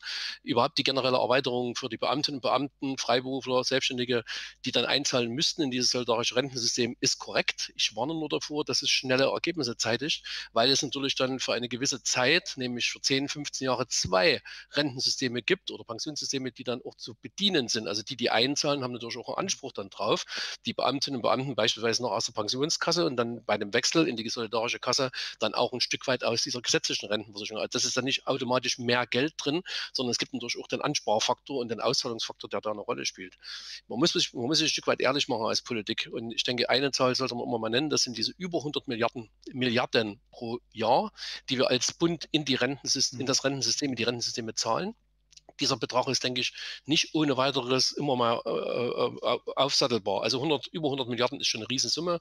Und wenn wir jetzt sagen, wir wollen aber definitiv das Rentenniveau bei 48 Prozent halten, mindestens bei 48 Prozent, mehr wäre besser, ist aber derzeit unrealistisch und das Renteneintrittsalter bei 67 und nicht weiter höher nehmen, wird es nur darum gehen, in Anfangjahren, in den Anfangszeiten, wenn Sie von dieser Legislatur sprechen, etwas zu tun im Lohn- und Gehaltsniveau. Das heißt, mit der Einführung Mindestlohn wäre zumindest eine untere Grenze gemacht. Tim, du hast recht, das bringt natürlich jetzt nicht allzu viel für die Rente, aber es ist ja der unterste, die, das unterste Level im, im, im, im Lohnniveau. Und natürlich brauchen wir bessere Löhne und Gehälter, um sozusagen über diese Umlage, über den Rentenbeitrag auch mehr an die Rentenkasse zu bekommen. Aber den großen Durchbruch wird es erst dann geben, nach einer gewissen Zeit, wenn wir die solidarische Rente gemacht haben, wo alle einzahlen. Das ist ein großes Thema, das ist sehr, sehr schwierig, das wird auch Riesendiskussionen in der Gesellschaft geben. Es gab schon mal den Antrag in dieser Legislatur, Einbeziehung der, der, der, Selbstständigen in die, in die gesetzliche Rente. Das klingt alles am Anfang ganz gut, aber wenn Sie einen Selbstständigen haben, der ähm, nicht allzu viel verdient in seinem Unternehmen, der also wirklich sich selber ausbeutet, das kann man auch mal sagen, gibt es ja auch in kleinen Betrieben und ihm dann sozusagen staatlicherseits noch sozusagen beauftragen und auch dazu ja, mehr oder weniger zwingen, weil das eine gesetzliche Vorgabe ist, dann reinzuzahlen, wird das halt schwierig. Das ist ein Thema, was wir als Gesellschaft mal miteinander diskutieren müssen. Herr Müller-Rosentritt, alle in einen Topf. Klingt das für Sie gut? Ja, das ist, das klingt total gut, das ist aber totale Augenwischerei. Äh, Detlef Müller hat sich hat die Argumente jetzt ganz zum Schluss ge äh, geliefert. Jemand, der als Solo-Selbstständiger jeden Tag äh, viele Entscheidungen trifft, kann auch, von dem kann man, also der möchte auch entscheiden, wie er dazu beiträgt. Und ich kenne viele äh, Selbstständige, übrigens auch Rechtsanwälte, von denen man ja meint immer, das sind super Top-Verdiener, äh, die, sich, ähm, die, die sich dagegen entscheiden, in Vorsorgungswerke einzuzahlen, weil sie die sich Summe gar nicht leisten können und lieber zum Beispiel Beispiel in Wohneigentum sparen, um dann halt eben im Alter im abbezahlten Wohnung zu leben oder sich vielleicht einen Kredit aufnehmen mit einem kleinen Eigenkapital, um halt eben im, Alter im abgezahlten, äh, vielleicht ein abgezahltes Mehrfamilienhaus zu haben, um eine Miete zu, zu, zu bekommen, so wie das in Italien und Frankreich äh, mhm. selbstverständlich ist. Das heißt, wir müssen an anderen Themen arbeiten, wir müssen es viel attraktiver machen, andere Vermögensformen aufzubauen, wir müssen in Teilen wegkommen von der äh, quasi von der wir zahlen ein und äh, andere zahlen im selben Monat wieder, wieder aus, sondern wir müssen eben auch tatsächlich äh, Frank Heinrich hat es gesagt, auch ein Stück weit zu einer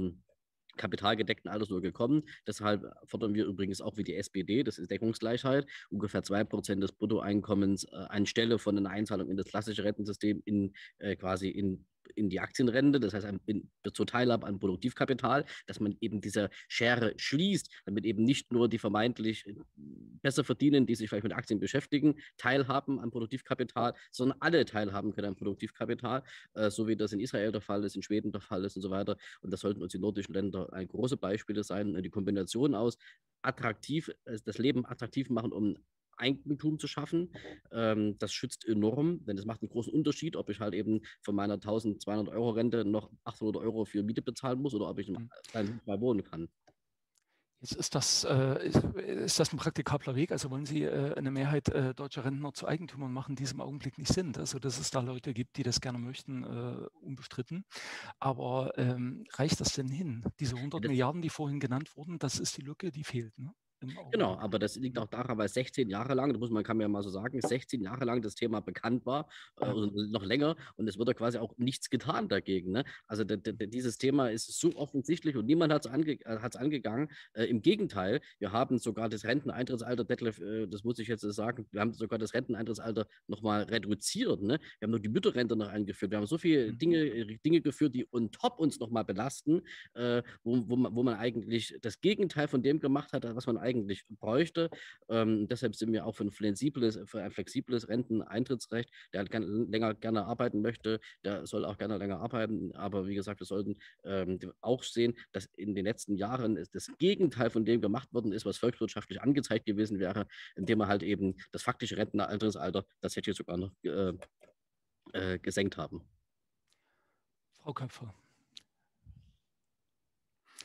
Wie stehen Sie zum Thema Rente? Äh, wir haben mehrere Vorschläge gehört. Also Herr Müller-Rosentritt, äh, wenn ich das richtig verstehe, ähm, will das Ganze auf eine breitere Basis stellen. Man könnte die kapitalgedeckte Säule, die private Vorsorge stärken. Äh, wir haben andere Vorschläge gehört, die Basis der Einzahler zu verbreitern. Was wäre aus Ihrer Sicht notwendig? Also ich glaube, das ist einfach ein, ja, man sagt in der Politik immer Maßnahmenmix, aber es gibt auf diese mhm. komplexe Frage nicht die eine mhm. Antwort und da ist halt auch schon vieles genannt worden. Also grundsätzlich bin ich durchaus ein Fan der deutschen Rentenversicherung, weil sie im Gegensatz zum Beispiel zum rein privaten ja auch Maßnahmen abdeckt wie Reha-Maßnahmen, von denen ja jährlich auch viele Millionen Menschen profitieren. Also gerade wer schwer arbeitet, also nehmen wir jetzt äh, jemanden, der halt doch viele Gewichte jeden Tag durch die Gegend transportiert und mit 50, 60 in den Rücken leiden kommt, der kann davon profitieren, entweder durch eine gesundheitliche Reha oder auch eine berufliche Reha. Und das ist was gesundheitsökonomisch, auch volkswirtschaftlich ergibt es unglaublich Sinn, dass wir diese Menschen im Arbeitsmarkt erhalten. Und das kenne keine private Rentenversicherung, die das irgendwo mit dabei hat. Also möchte ich tatsächlich an dieser Stelle mal für die Rentenversicherung werben.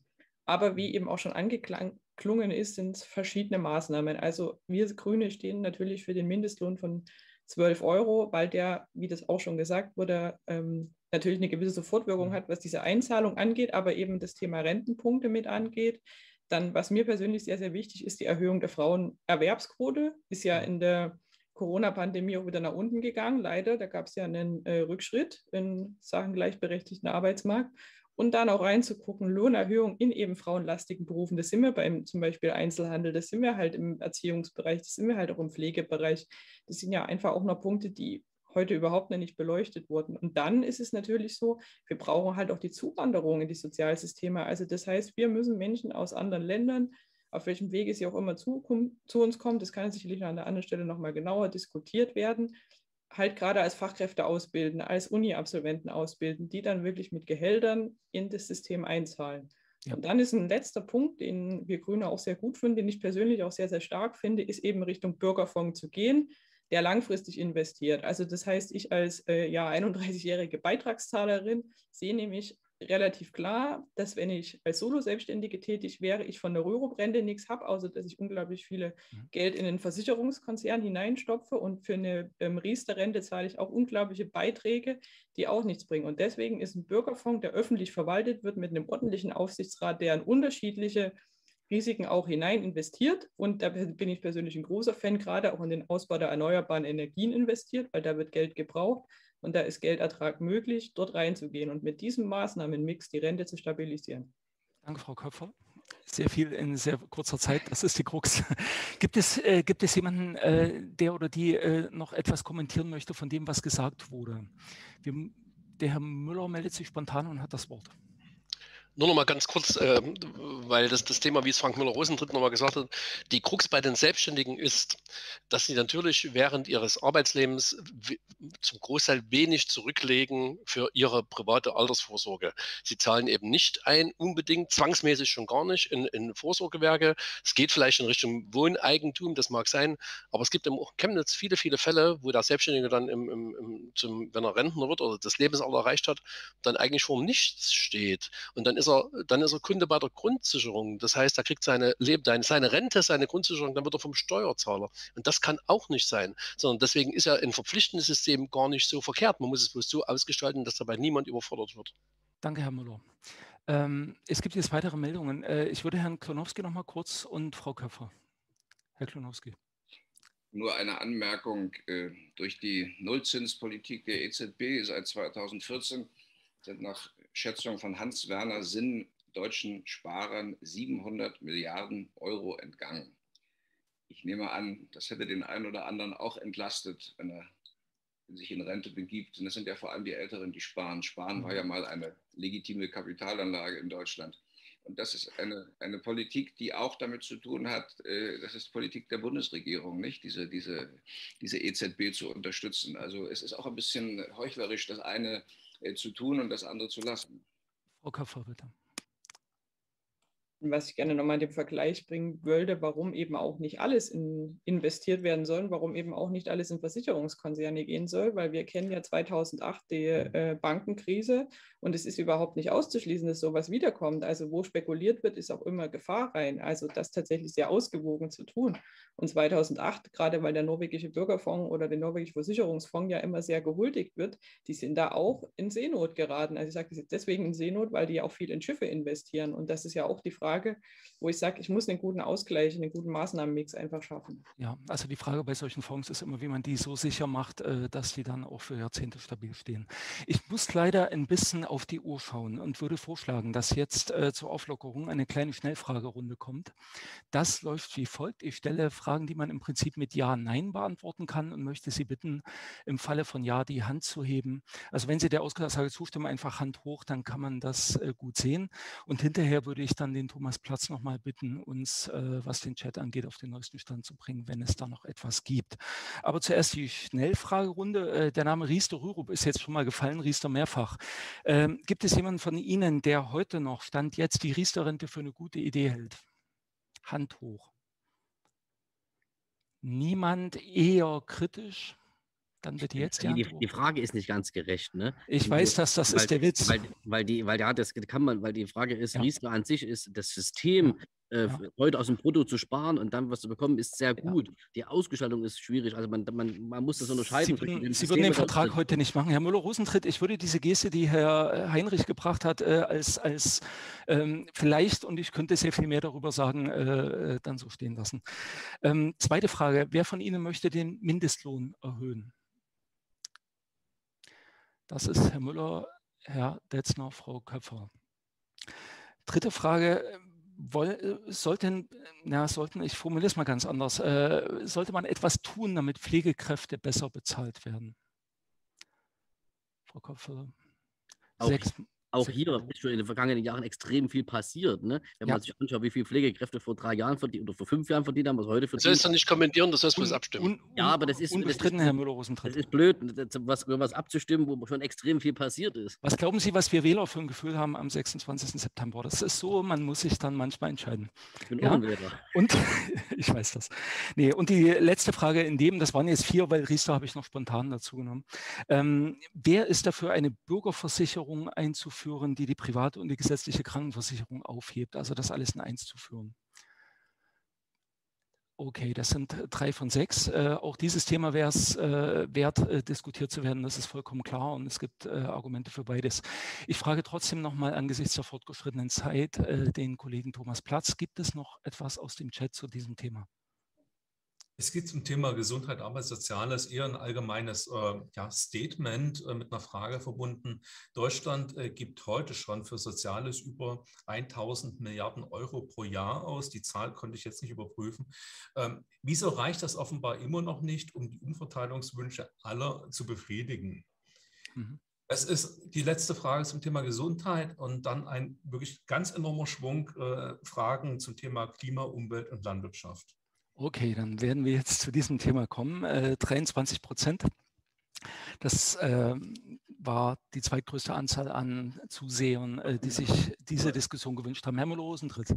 Ja, ich kann bloß noch ergänzen, weil die war eine konkrete Frage, warum wir, warum wir das nicht schaffen. Warum wir schaffen das nicht? Warum tragen wir diesen Batzen immer weiter voraus? Äh, das ist einfach, ja. weil wir in Deutschland, äh, warum sind wir in Deutschland tatsächlich äh, das ärmste Pro-Kopf-Land in Europa, also nicht in Europa, in Westeuropa? Warum ist, sind die Pro-Kopf-Vermögen in Italien und Spanien, in Spanien und in Frankreich so wesentlich höher als bei uns? Also wesentlich höher, ne? Vielfach, vielfach so hoch, mhm. weil wir halt eben eine Kultur des Eigentums haben. Und solange wir halt eben tatsächlich hier nicht grundlegend äh, äh, überlegen, also grundlegend unsere, uns, unsere Anreizsysteme verändern, dass Menschen halt eben anfangen, ihre Wohnung vielleicht lieber abzubezahlen, damit sie irgendwann mal denen selbst gehört und nicht mieten, da werden wir diese Schere nie schließen, weil somit immer mehr Geld quasi äh, anders verteilt wird. Und ja. da, müssen wir grundlegend, grundlegend dran und auch von Ländern wie Frankreich oder Italien an der Stelle lernen, dass wir quasi mehr Menschen zu Eigentümern machen in dem Land. Mentalitätswandel ist ein großes Problem. Äh, das sehen wir auch beim Thema Klima und Umwelt. Danke nochmal für, das,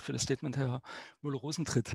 Ähm, die Diskussion von klimapolitischen Maßnahmen, äh, ich sage das gleich vorneweg, äh, die ist oft beeinträchtigt, weil dem der Verdacht unterliegt, ähm, das sei alles nur ein, ein, ein Deckmantel für eine irgendwie dirigistische Politik. Und wenn man Klima sagt, dann kann man alles machen. Ich sage das mal voraus, falls jemand in diese Richtung geht, wird, wird eingehakt. Die erste erste Frage, die ich Ihnen allen stellen möchte, ist folgendes. Ähm, dass es einen ökologischen Umbau der Gesellschaft braucht, setze ich mal als konsensual voraus. Wer widersprechen möchte, kann das natürlich machen. Was glauben Sie persönlich? Ähm, fast alle in der Runde sind ja auch, äh, haben Kinder, haben Familie, haben Angehörige, Angehörige haben sowieso alle. Was glauben Sie, wie viel Zeit für einen solchen ökologischen Umbau, um mal eine Zielgröße auszugeben, der die dringendsten Energieprobleme, die dringendsten Umweltprobleme äh, löst, wie viel Zeit dafür noch bleibt? Weil ich glaube, dass die Antwort auf diese Frage äh, ja vieles von dem, was folgt, erklärt. Herr Heinrich, bitte. Ich würde gerne mal reagieren auf meine Kolleginnen und Kollegen. Aber ähm, wir haben ja, und darauf beziehen Sie sich ja auch, dass ähm, wir uns das Jahr 45 als Enddatum äh, äh, vorgestellt haben. Ne? Das haben wir auch so reingeschrieben. Mhm. Das heißt aber nur, dass wir nachhaltig, und ich meine ich nicht das Natur-Nachhaltigkeitswort, äh, sondern dass wir sozial abgefedert und nachhaltig genug politisch umgebaut und wirtschaftlich vorne sind, dass wir das auch tatsächlich erreichen. Wenn wir nämlich auf einem der anderen drei Bereiche äh, das nicht hinkriegen, dann werden wir auch das Ziel nicht erreichen. Und von dieser Messlatte als Maximum so weit wie möglich entfernt nach vorne in unsere heutige Zeit das zu leisten. Und wir werden ja auch unterwegs, das haben wir als Deutschland immer wieder bewiesen, in Krisen ganz besonders äh, schnell fähig, auch so eine Art, wie meine Parteispitze das auch immer wieder nennt, eine Art ähm, äh, klimaneutrales Wirtschaftswunder er, äh, erarbeiten können. Und da das jetzt zu sagen, ich gehe davon aus, dass 45, wenn wir schnell auch unterwegs sind, nicht das Enddatum sein werden. Allerdings, wenn wir unterwegs von anderen politischen Kräften abgehalten werden oder die Bevölkerung das nicht mitmacht, wir sie also nicht mitnehmen, dann hat, hat es, haben wir keine Chance, selbst das Datum zu erreichen. Also, ich wünschte mir, wir hätten ähm, mehr als diese, äh, weniger als diese, äh, nein, wir hätten mehr als diese Zeit übrig. 45 ist für mich tatsächlich die Deadline. Und ich möchte gerne schneller werden, dass wir in eine 30er-Zahl kommen. Mhm. Herr Klonowski. Ich finde, die Frage ist, äh, ich will Ihre Frage nicht, nicht kritisieren, aber äh, wer soll denn darauf eine profunde Antwort geben? Doch, ich frage Sie persönlich, äh, ob Sie einen Imperativ sehen, dass es äh, innerhalb einer überschaubaren Zeit, und ich frage Sie, wie lange Sie diese Zeitspanne einschätzen, ähm, naja, wir haben seit Beginn der Klimaaufzeichnung 1860 bis, bis, bis heute einen Temperaturanstieg von 1,06 Grad. Also ein bisschen Zeit bleibt uns schon. Mhm. Ich würde sogar sagen, es bleibt verdammt viel Zeit. Äh, Sie also kennen also keine, ja, keine Dringlichkeit. Sie kennen, ja, Sie kennen ja den Ansatz der AfD nicht, also Rücknahme des Atomausstieges. Ich hörte mhm. gerade Herrn Scholz, der ist ja immer Kanzlerkandidat der SPD, auf einer Wahlkampfveranstaltung sagen, zu einem Klimaner nenne ich sie, der fragte, warum, wann denn, wann denn endlich die SPD ernst macht mit dem CO2 reduzieren dass sie ja jetzt aus der Atomenergie aussteigen und das, also er sagte Kohle und Atomenergie und dass sie also ernst machen mit dem CO2-Ausstieg, dass niemand auf diesen unglaublichen Schwachsinn dieser Aussage eingeht, wundert mich schon ein bisschen, nicht?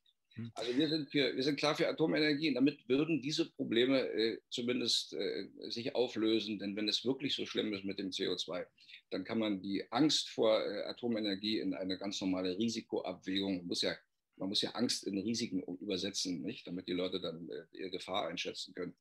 Und ich weise auch auf die neue Generation von Atomreaktoren hin, die eine viel weitere Verbrennung der äh, Atombrennstäbe äh, gewährleistet als die herkömmlichen. Wir machen aus Vorleben, aus dem Endlager ein Rohstoff. Okay, Herr Klonowski, Sie wünschen sich ein Atomkraftwerk, das ist angekommen. Äh, insgesamt halten Sie das Thema aber für nicht so dringlich.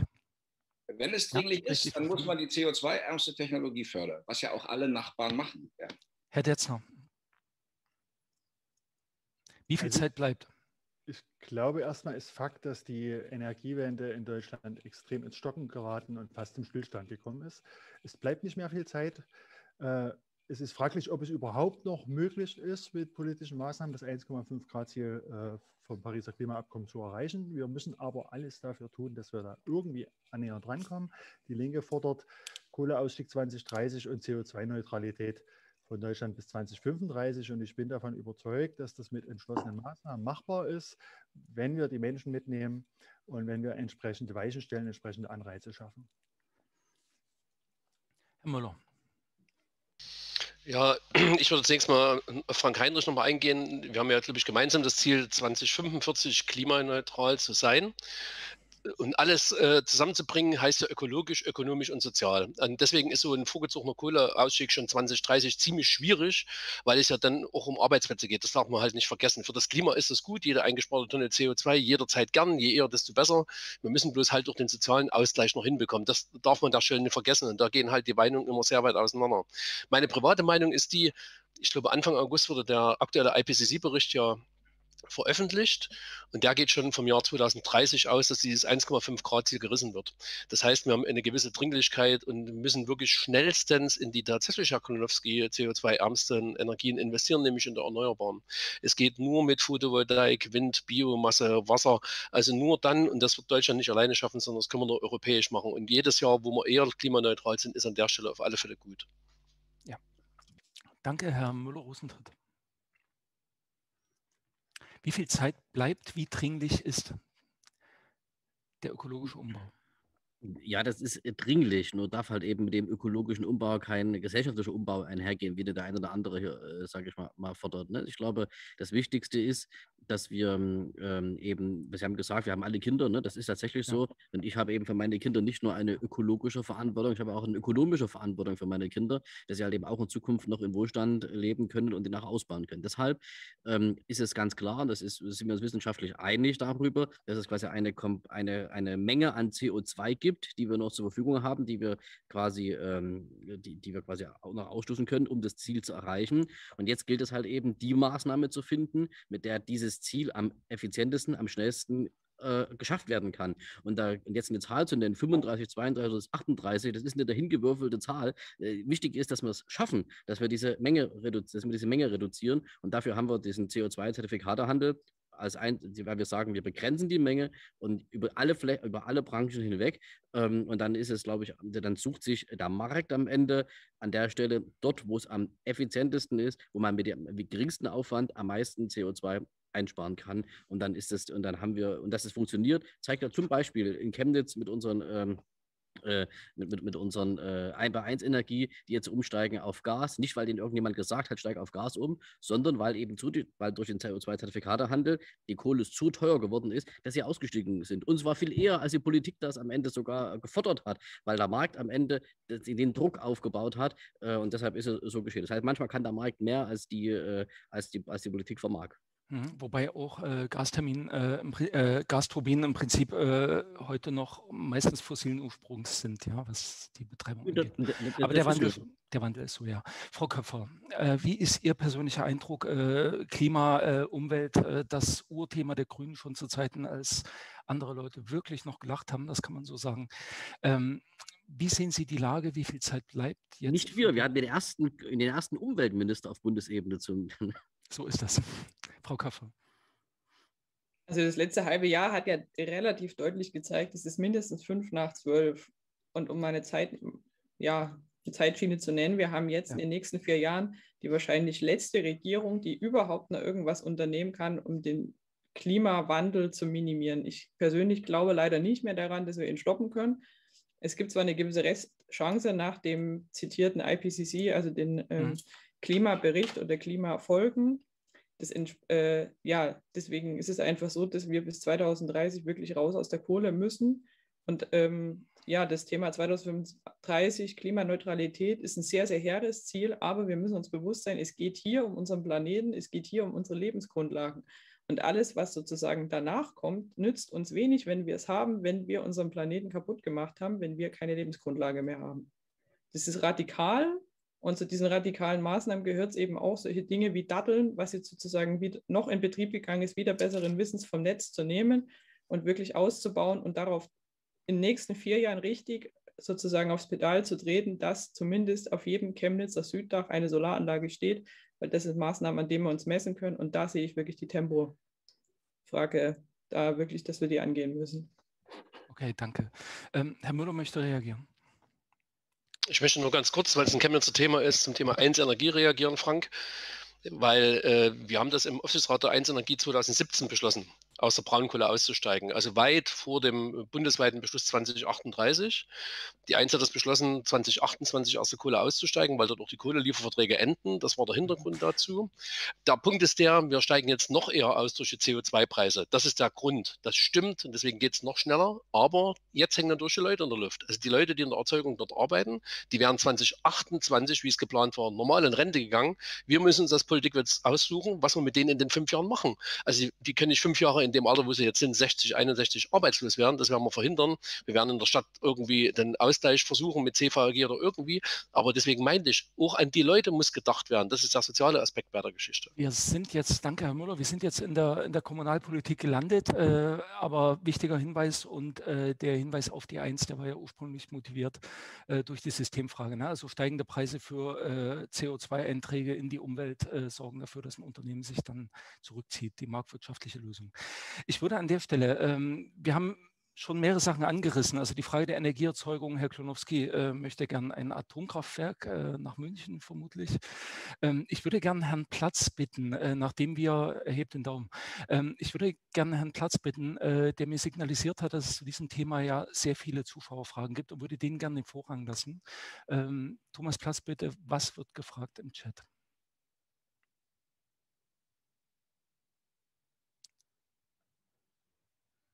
So, jetzt bin ich zu hören. Ähm, tatsächlich, die Frage nach dem Endlager an Herrn Klonowski ist gestellt worden, ähm, wo er sich denn vorstellt, äh, wo ein Endlager eingerichtet werden soll. Und tatsächlich äh, kam, steht da auch der Zusatz bestimmt nicht an seinem Wohnort München.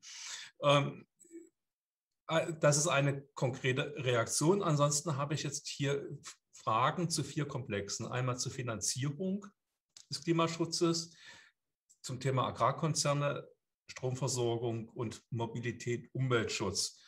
Ähm, ich glaube, das wird zu viel, jetzt äh, die alle in die Runde zu schütten. Äh, ich würde mit der Finanzierung anfangen.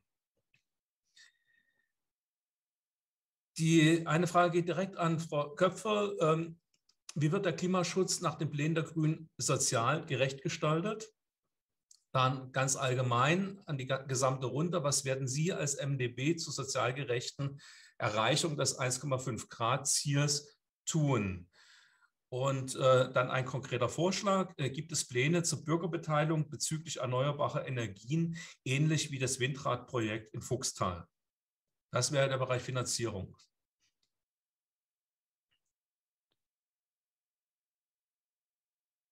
Herr Schilder? Jetzt habe ich, ich habe es entdeckt. Jetzt haben Sie Ton.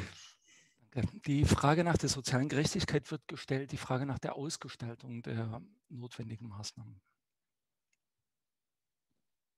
Frau Köpfer, Sie haben das Wort.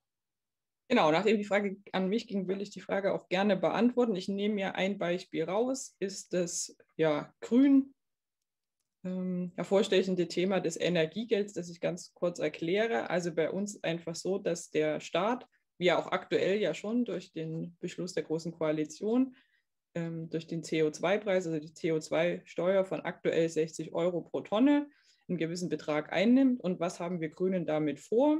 Ist den tatsächlich sozial gerecht auszugleichen. Zum einen durch ein Energiegeld, das pro Kopf ausgezahlt wird Anfang des Jahres. Das wären bei dem aktuellen CO2-Preis von 60 Euro pro Tonne, wären das ungefähr 75 Euro pro Haus, also pro Kopf und Haushalt.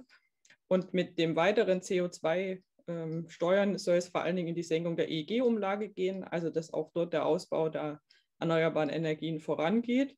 Weil Fakt ist auch einfach so, dass wer mehr Einkommen hat, wer mehr Vermögen verfügt, verursacht auch mehr CO2. Das ist relativ praktisch erklärbar. Man reist einfach mehr, also wird mehr geflogen.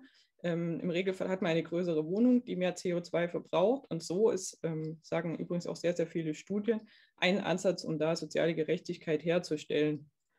Und ja, ein weiteres Thema ist ja schon angesprochen worden, ist, ähm, wie können wir Bürger beteiligen? Das ist auch ein ganz plastisches Beispiel. In Chemnitz gibt es ja auch relativ viele große Wohnblocks. Indem ich das schaffe, dort Solaranlagen aufs Dach zu bauen, kann ich sehr gezielt Einfluss nehmen auf den Strompreis.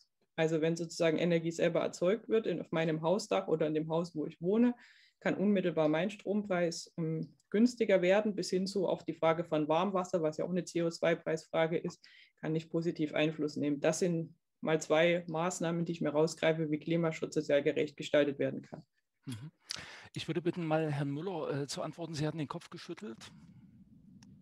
Ja, ich verbessere Frau Köpferl ungern, aber der aktuelle CO2-Preis pro Tonne liegt bei 25 Euro. Ihr wollt den auf 60 schnellstens erhöhen. Das hast du jetzt mit dem Wahlprogramm ein bisschen zusammengewürfelt. Wir haben den jetzt bei 25 beschlossen und bei uns und bei anderen steigt er bis ins Jahr 2026 auf diese berühmten 60 Euro. Und wir würden auch gerne bei diesem Preispfad bleiben, um halt niemand jetzt am Anfang auch wirklich zu überfordern. Das kann nur schrittweise funktionieren. Und da Sie jetzt sozusagen die äh, politische Frage gestellt haben, wo man den Leute entlasten kann, wir äh, schlagen halt vor, dass wir aussteigen aus der EEG-Umlage, die auf jede Kilowattstunde Strom aufgeschlagen wird. Das sind derzeit 6,5 Cent auf, auf, die Kilowattstunde. Das kann man sich ja hochrechnen. Je mehr dort verbraucht wird, wird mehr gezahlt. Das heißt, man muss dann schon auch beim Strom gegen Gegenrechnungen machen, um die Bürger an der Stelle nicht zu überfordern beim Energie, bei den Energiekosten. Herr Detzner, bitte. Ja, also auch wir fordern ähm, eine, eine, Änderung beim, eine Änderung beim EEG und eine Überarbeitung bei der, bei der EEG-Umlage. Das Grundproblem ist, äh, dass der Strompreis in Deutschland zu hoch ist und trotzdem ähm, die Energiewende nicht vorankommt. Da gibt es mehrere Stellschrauben. Ähm, was ganz wichtig ist, um das sozialgerecht zu gestalten, dass zum einen die, die Konzerne, die über Jahrzehnte Milliarden äh, mit schmutziger Energie verdient haben, auch bei den Folgekosten beteiligt werden es ist ein Unding, dass die Braunkohlekonzerne für die Renaturierung und die Transformationsprozesse nach der Kohle keinerlei Verantwortung tragen und die Atommüllkonzerne, ähm, die äh, sich noch fett entschädigen lassen für, das Abschalten der Reaktoren und die ganzen gesamten Folgekosten die Gesellschaft trägt.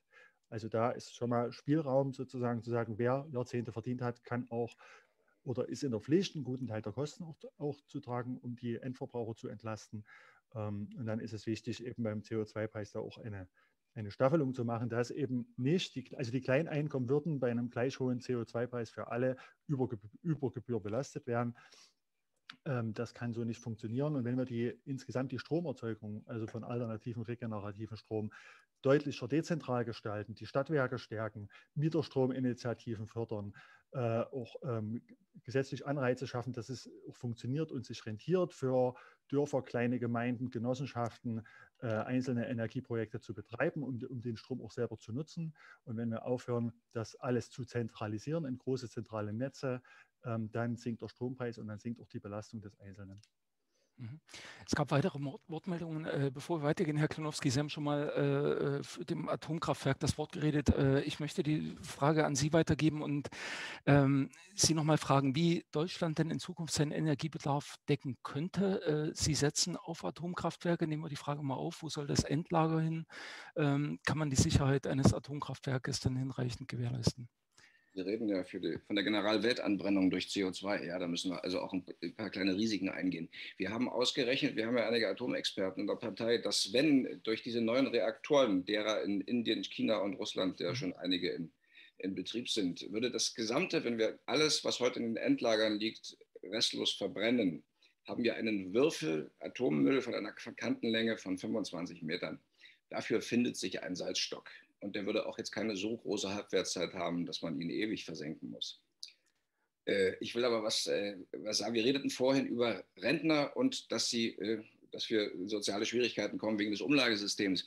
Wir haben einen Verarmungsrechner, einer meiner Wahlkämpfer in Chemnitz hat einen Verarmungsrechner ermittelt und also hat es, den kann man, den kann man anklicken, da kann man seine Energiebilanz eingeben. Und wir haben ja gerade gehört, dass die Grünen jährlich eine Prämie, CO2-Prämie von 78 Euro zurückzahlen wollen, was also jetzt in dem Zeitraum bis 2026, in dem wir rechnen, ungefähr 936 oder sagen wir rund 1000 Euro wären. Aber wir haben ein Modellrentner-Ehepaar, welches für Heizen und Auto in dieser Zeit 5267 Euro weniger im Portemonnaie hat. Das heißt, es bleiben immer noch 4.267 Euro weniger durch diesen CO2-Aufschlag. Ja, das ist also sicherlich nicht gerecht und nicht sozial gerecht. Aber ich will doch was sagen, bevor wir ganz Schluss machen. Die Bevölkerung Afrikas wird bis 2050 auf 2,5 Milliarden wachsen und bis zum Ende des Jahrhunderts auf 4,5 Milliarden. Allein was die ausatmen an CO2. Und dann reden wir über Solardächer. Das ist doch Pillepalle, über was wir hier reden. Also Ihre Prognosen, Herr Klonowski, da gibt es äh, unterschiedliche. Ähm, und ähm, was zum Beispiel die Entwicklung der Weltbevölkerung äh, betrifft, da gibt es halt unterschiedliche Prognosen. Ähm, das führt auch vom Thema weg. Also die Frage war, ähm, wie wir den Energiebedarf decken könnten. Äh, ich gehe mal weiter zu Herrn Heinrich. Sie hatten sich gemeldet ähm, vorhin schon bei der Frage nach einer sozial gerechten äh, äh, Energiewende. Und ich möchte auch da nochmal die Frage anschließen, ähm, sind wir in der Lage, aus regenerativen Energien äh, die entsprechend, den entsprechenden Energiebedarf zu einem annehmbaren Preis äh, auch zur Verfügung zu stellen? Oder läuft es am Ende darauf hinaus, dass wir den Strom äh, in anderen Ländern kaufen, wo dann eventuell auch wieder ein Atomkraftwerk steht?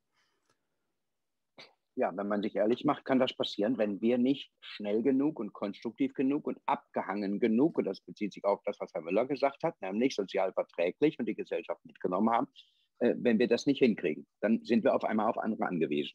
Ich möchte nicht mehr angewiesen sein. Ich habe mich damals auch gegen meine Fraktion ausgesprochen, als es um die Energiewende ging, nämlich die äh, Atomkraftwerke doch wieder länger laufen zu lassen. Und ich finde, es gibt bis heute gute Gründe dafür. Aber es geht tatsächlich um die Geschwindigkeit. Und wenn wir jetzt gerade diese Woche erleben, Sie haben ja die Eingangsfrage zum Wasserstoffzentrum gestellt, das muss, da muss Deutschland, ich will jetzt nicht sagen Weltmarktführer werden, sondern der Weltentwickler. Da müssen wir wieder diesen halben Schritt voraus sein, den wir immer unserer, der immer unsere Chance war, dass wir den Tick besser waren oder äh, eher waren als alle anderen. Da haben wir ein bisschen gestolpert, was Solar angeht.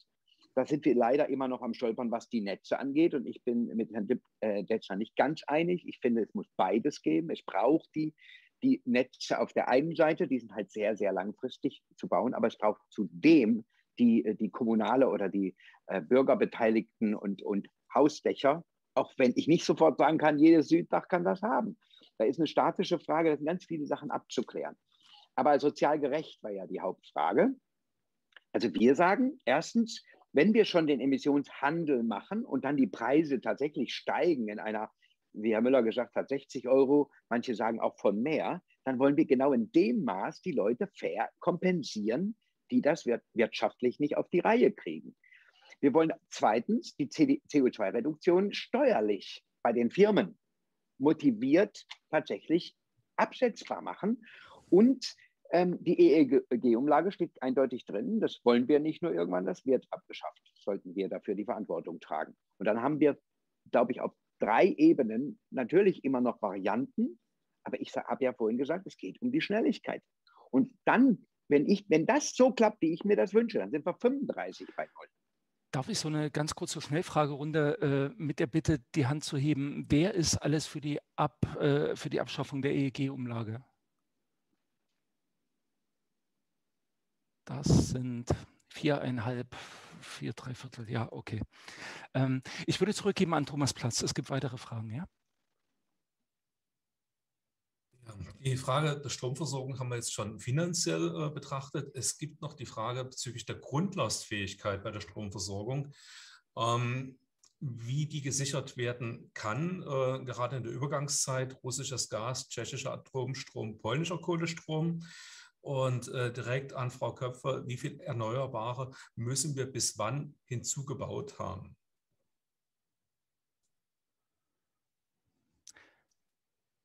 Darf ich das an Frau Köpfer gleich weitergeben?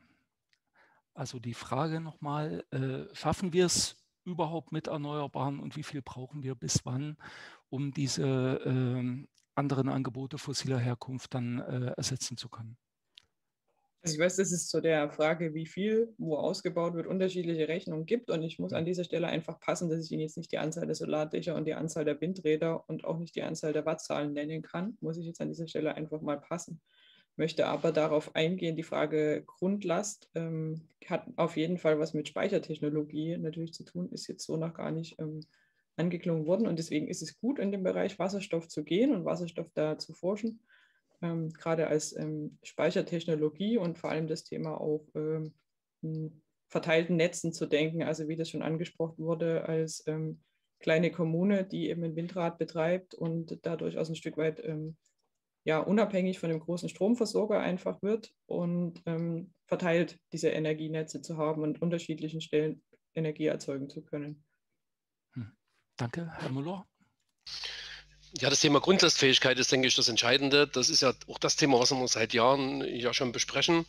Und ich weiß nicht, ob Sie das gelesen haben, diese Studie, wo die chemische Industrie jetzt schon davon ausgeht, dass sie eigentlich den kompletten Bedarf Deutschlands nur für die chemische Industrie braucht, wenn wir umstellen, auf, äh, wenn wir die Wirtschaft CO2 freimachen wollen.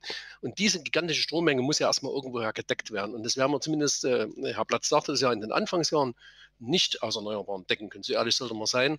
Ein ganzer Teil wird, ist die Frage Speicherkapazität, da ist ein ganzes, eine ganze Frage europäischer Netze, um Wasserkraft beispielsweise aus den äh, nordischen Ländern da zu nutzen. Aber einen großen Teil, so ehrlich muss man sein, wird Gas sein. Also definitiv wird es erstmal für die nächsten Jahre sicherlich das Gas sein, das Erdgas sein, was uns die Grundlastfähigkeit sichert. Möchte jemand kommentieren, Stellung nehmen dazu? Herr Detzner.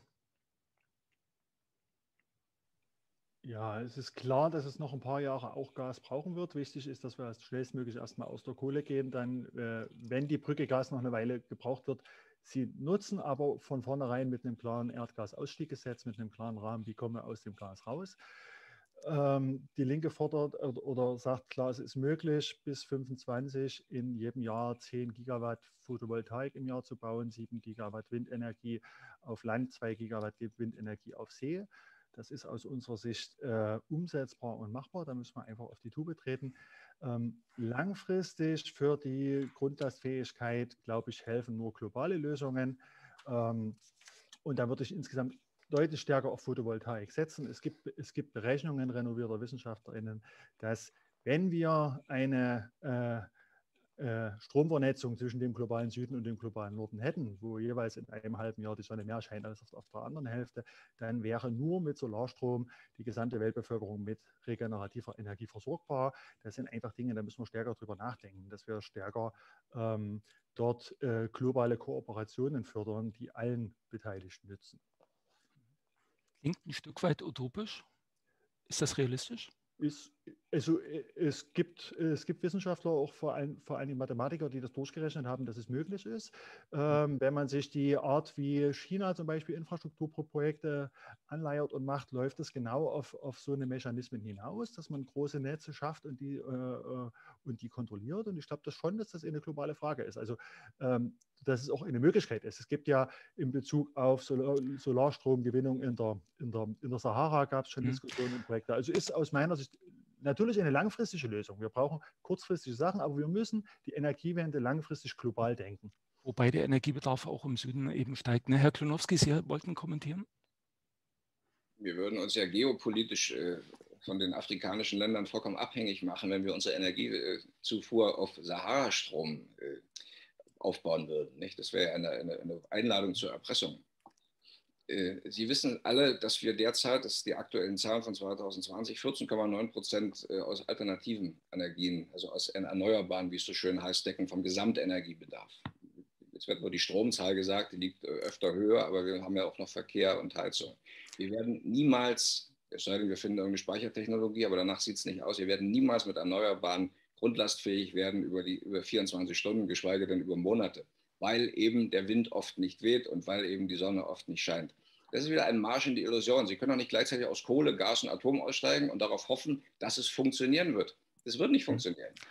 Vorschlag, Herr Klonowski, wir merken uns die Prognose äh, im verschlossenen Umschlag. Herr Heinrich, äh, ich nehme Sie gleich dran. Äh, Sie sind einfach skeptisch und sagen, niemals werden wir das mit Erneuerbaren schaffen. Herr Heinrich, Sie wählen mit der Hand.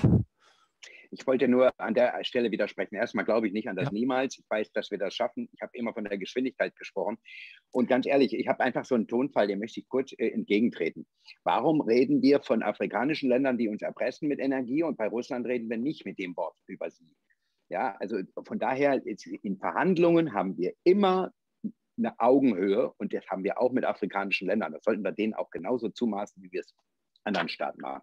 Also der Zungenschlag hat mir gerade nicht gefallen. Sorry. Nur ein Wort, man muss Alternativen haben. Immer möglichst zwei. Okay, Dankeschön. Ich gebe zurück an Thomas Platz. Es gab noch Fragen auch in Richtung Mobilität, ja? Ja, und zwar ähm, eine, ja, eine klassische Ja-Nein-Frage. Äh, wer der Kandidaten äh, unterstützt Tempo 30 in Chemnitz für Pkw? Wollen wir das gleich machen? Tempo 30 in Chemnitz, in Chemnitz für Pkw? In Chemnitz oder auf Autobahn, meinen Sie jetzt? Äh, in Chemnitz, in der Stadt, äh, für den Stadtverkehr. Autobahn wäre, glaube ich, eine andere. 130. Nein, Tempo 30 im Stadtverkehr. Wer ist dafür? Frau Köpfer, generell ja. Generell auch, auch äh, Kalkstraße raus. Herr Detzner auch. Kopfschütteln. Äh, ich würde jetzt die Argumentation mal beiseite lassen. Äh, das war eine der Fragen auch für die Schnellfragerunde. Ähm, da ging es aber um Tempo 130 auf der Autobahn. Wer von Ihnen ist dafür? Das Mittelfristig ja. Was als Mindestgeschwindigkeit oder als Höchstgeschwindigkeit? Als Höchstgeschwindigkeit der Müller-Rosentritt. Das ist polemisch. Frage an. Okay. Äh, das Abstimmungsergebnis ist, re ist, relativ erwartet. Mit Erlaubnis der anderen würde ich Herrn Heinrich fragen, seine, seine Mittelfristigkeit nochmal zu begründen. Ich möchte die Debatte noch tatsächlich mehr führen. Das ist nicht nur eine ökologische Debatte, das ist auch eine Prozentdebatte, denn so viel wird nicht mehr gefahren. Es ist auch eine gesundheitliche Debatte. Aber ich werde mich denen am Schluss nicht verwehren. Deshalb habe ich gesagt, auf Dauer bin ich dazu aber da möchte ich mehr Beteiligung. Ja. Die Diskussion geht seit 10, 15 Jahren. Es ist, glaube ich, mal ein Zeit, das langsam mal zu entscheiden. Okay. Ähm, Thomas Platz, gibt es noch weiteres zum Thema Mobilität? Ja. Also die Frage nach dem Tempolimit ähm, ist nochmal ähm, etwas weiter gefasst. Äh, ein Tempolimit ist ein sofortiges, kostengünstiges Instrument, um 2 Millionen Tonnen CO2 einzusparen. Äh, warum wird es nicht sofort umgesetzt? Frage an alle. Ähm, die nächste Frage zur Mobilität. Äh, wie wollen die Kandidaten in Chemnitz die Elektromobilität fördern? Ähm, an Frau Köpfer zum Thema Wasserstoff und Elektromobilität. Äh, was sind die jeweils bestmöglichen Einsatzgebiete? Und äh, Blick auf die Bahn. Äh, ab 2022 fährt zweimal am Tag ein Zug von Chemnitz nach Berlin. Ähm, an Herrn Müller, ähm, ist das ein ernsthaftes Angebot, die Bahn attraktiv zu machen? Okay, äh, sortieren wir das. Die Frage nach dem Fernzug, äh, die muss in jeder äh, Chemnitz-Diskussion einfach gestellt werden. Ähm, das, ähm, das ist okay. Ich würde trotzdem erst nochmal anfangen mit dem Thema Elektromobilität. Ähm, ähm, wie sortieren wir das? Ich würde vielleicht erstmal in die Runde fragen, äh, der Ausbau der Elektromobilität hat begonnen, äh, ist in vollem Gange, die Wirtschaft zieht mit, die Zahl der Ladesäulen wächst. Auch in diesem Sommer sind wieder Menschen im Urlaub gewesen und haben hinterher gesagt, das funktioniert. Ähm, ich würde die Frage mal so rumstellen, sind wir auf einem guten Weg? Ist alles in Ordnung, Frau Köpfer? Kann man sich da jetzt zurücklehnen und sich wichtigeren Sachen zuwenden? Also ich sehe das mit der Elektromobilität persönlich sehr gespalten, mhm. weil ich persönlich nicht davon überzeugt bin, dass wir jedes Fahrzeug in Chemnitz, also jedes Verbrennerfahrzeug durch ein Elektroauto ersetzen können, weil das unser Klimaproblem nicht löst. Das äh, Thema Stromversorgung, also der Strom kommt auch ja natürlich nicht einfach so aus der ähm, Ladesäule, auch wenn der Ausbau voranschreitet, sondern tatsächlich innerstädtisch auf jeden Fall viel, viel mehr auf äh, kostengünstigere und sozial gerechtere Verkehrsmittel. Also es geht los beim Fußverkehr, der in Chemnitz durch eine wahnsinnige ja auch äh, Autolastigkeit mhm. nicht ganz ungefährlich ist, bis hin weiterhin Radausbau und auf jeden Fall, weil er für alle nutzbar ist, der ÖPNV. Und deswegen würde ich mich da nicht zurücklehnen, sondern sagen, es gibt den Anwendungsfall fürs Auto, den bestreite ich nicht. Wir sind auch ähm, durchaus in Chemnitz ein bisschen zerklüfteter mit ein ähm, bisschen ländlicheren Raum dran. Da spielt es auf jeden Fall eine Rolle, da bin ich realistisch. Aber ich lehne mich da jetzt nicht zurück und sage, naja, lasst uns Ladesäulen bauen und das Thema ist gelöst. Ja, also es gibt An Anwendungsfälle für äh, Verbrennung. Herr, Herr Dessner meldet sich, ja. Ja, also ich bin da sehr nah bei der Frau Köpfer. Wir brauchen eine umfassende Mobilitätswende und da muss und da und die muss so sein, dass langfristig der motorisierte Individualverkehr zurückgeht, weil es ist tatsächlich eine Illusion, äh, die Menge an individuellen Fahrzeugen auf Elektroantrieb umzurüsten und mit regenerativen Energien zu versorgen. Also die Illusion, glaube ich, das Versprechen macht ja keiner, dass es eins zu eins geht. Wir brauchen einen sehr gut ausgebauten, langfristig, langfristig kostenlosen ÖPNV. Wir müssen in eine, in eine Radverkehrsinfrastruktur ganz massiv investieren und dort Stellschrauben drehen. Und das muss auch nicht immer Jahre dauern und, und extrem viel Geld kosten. Da gibt es auch einfache Lösungen, wenn wir auf intelligente Verkehrssteuerungssysteme zurückgreifen, Spuren temporär nur Fahrradfahrer zur Verfügung stellen und so weiter. Der Bund ist dort gefordert, auch den Kommunen deutlich mehr Geld zu geben bei diesen ganzen Umbaumaßnahmen. Also ÖPNV, Fahrrad- und Fußverkehr deutlich, deutlich, deutlich fördern, unsere Mobilität ein Stück weit ändern. Äh, alleine durch die Chancen der Digitalisierung ist das möglich, manche Wege äh, als unnötig einfach wegfallen zu lassen, weil ich nicht mehr zum Amt fahren muss, weil ich es digital lösen kann. Also es braucht komplexe Maßnahmen, dann ist es möglich alles durch Elektro ersetzen geht nicht. Und bei, und, und, und bei den Wasserstoffantrieben müssen wir ganz genau überlegen, wofür können die sinnvoll funktionieren. Ich glaube, die größte Chance für, für die Wasserstofftechnologie ist die weltweite Containerschifffahrt, die einen großen Teil des globalen CO2-Ausstoßes erzeugt. Ähm, also für perspektivisch auch Lkw oder Schienenverkehr, Schiffverkehr, Flugverkehr kann Wasserstoff eine Lösung sein. Für den individuellen äh, Autoverkehr in den Städten wahrscheinlich erstmal nicht. Ja, Wasserstoff ist Chemnitz am Start. Herr Müller, äh, ich würde Ihnen gerne das Wort geben. Äh, die Frage nochmal nach dem, nach dem Fernzug nochmal ein kleines bisschen einbetten. Äh, was kann man, was sollte man im Bund jetzt tun, um den öffentlichen Nahverkehr, Bahn davon eine Komponente auszubauen, wenn ich unterstelle, dass es da keine Einrede gibt, dass man das tun sollte? Gibt es jemanden, der der Meinung ist, der ÖPNV ist viel zu groß? Herr Klonowski auch nicht. Das wird niemand sagen. Nee. Also ÖPNV, der ÖPNV muss ausgebaut werden. Wir haben, wir haben das große Problem jetzt als Stadt Chemnitz, dass es immer mehr Steuermittel der Stadt bedarf, um den Status quo im ÖPNV zu halten. Das ist das große Problem. Wir waren mal bei Null, da konnte die Einzenenergie mit ihren Gewinn aus dem Strom sozusagen die Verluste der CVAG auffangen.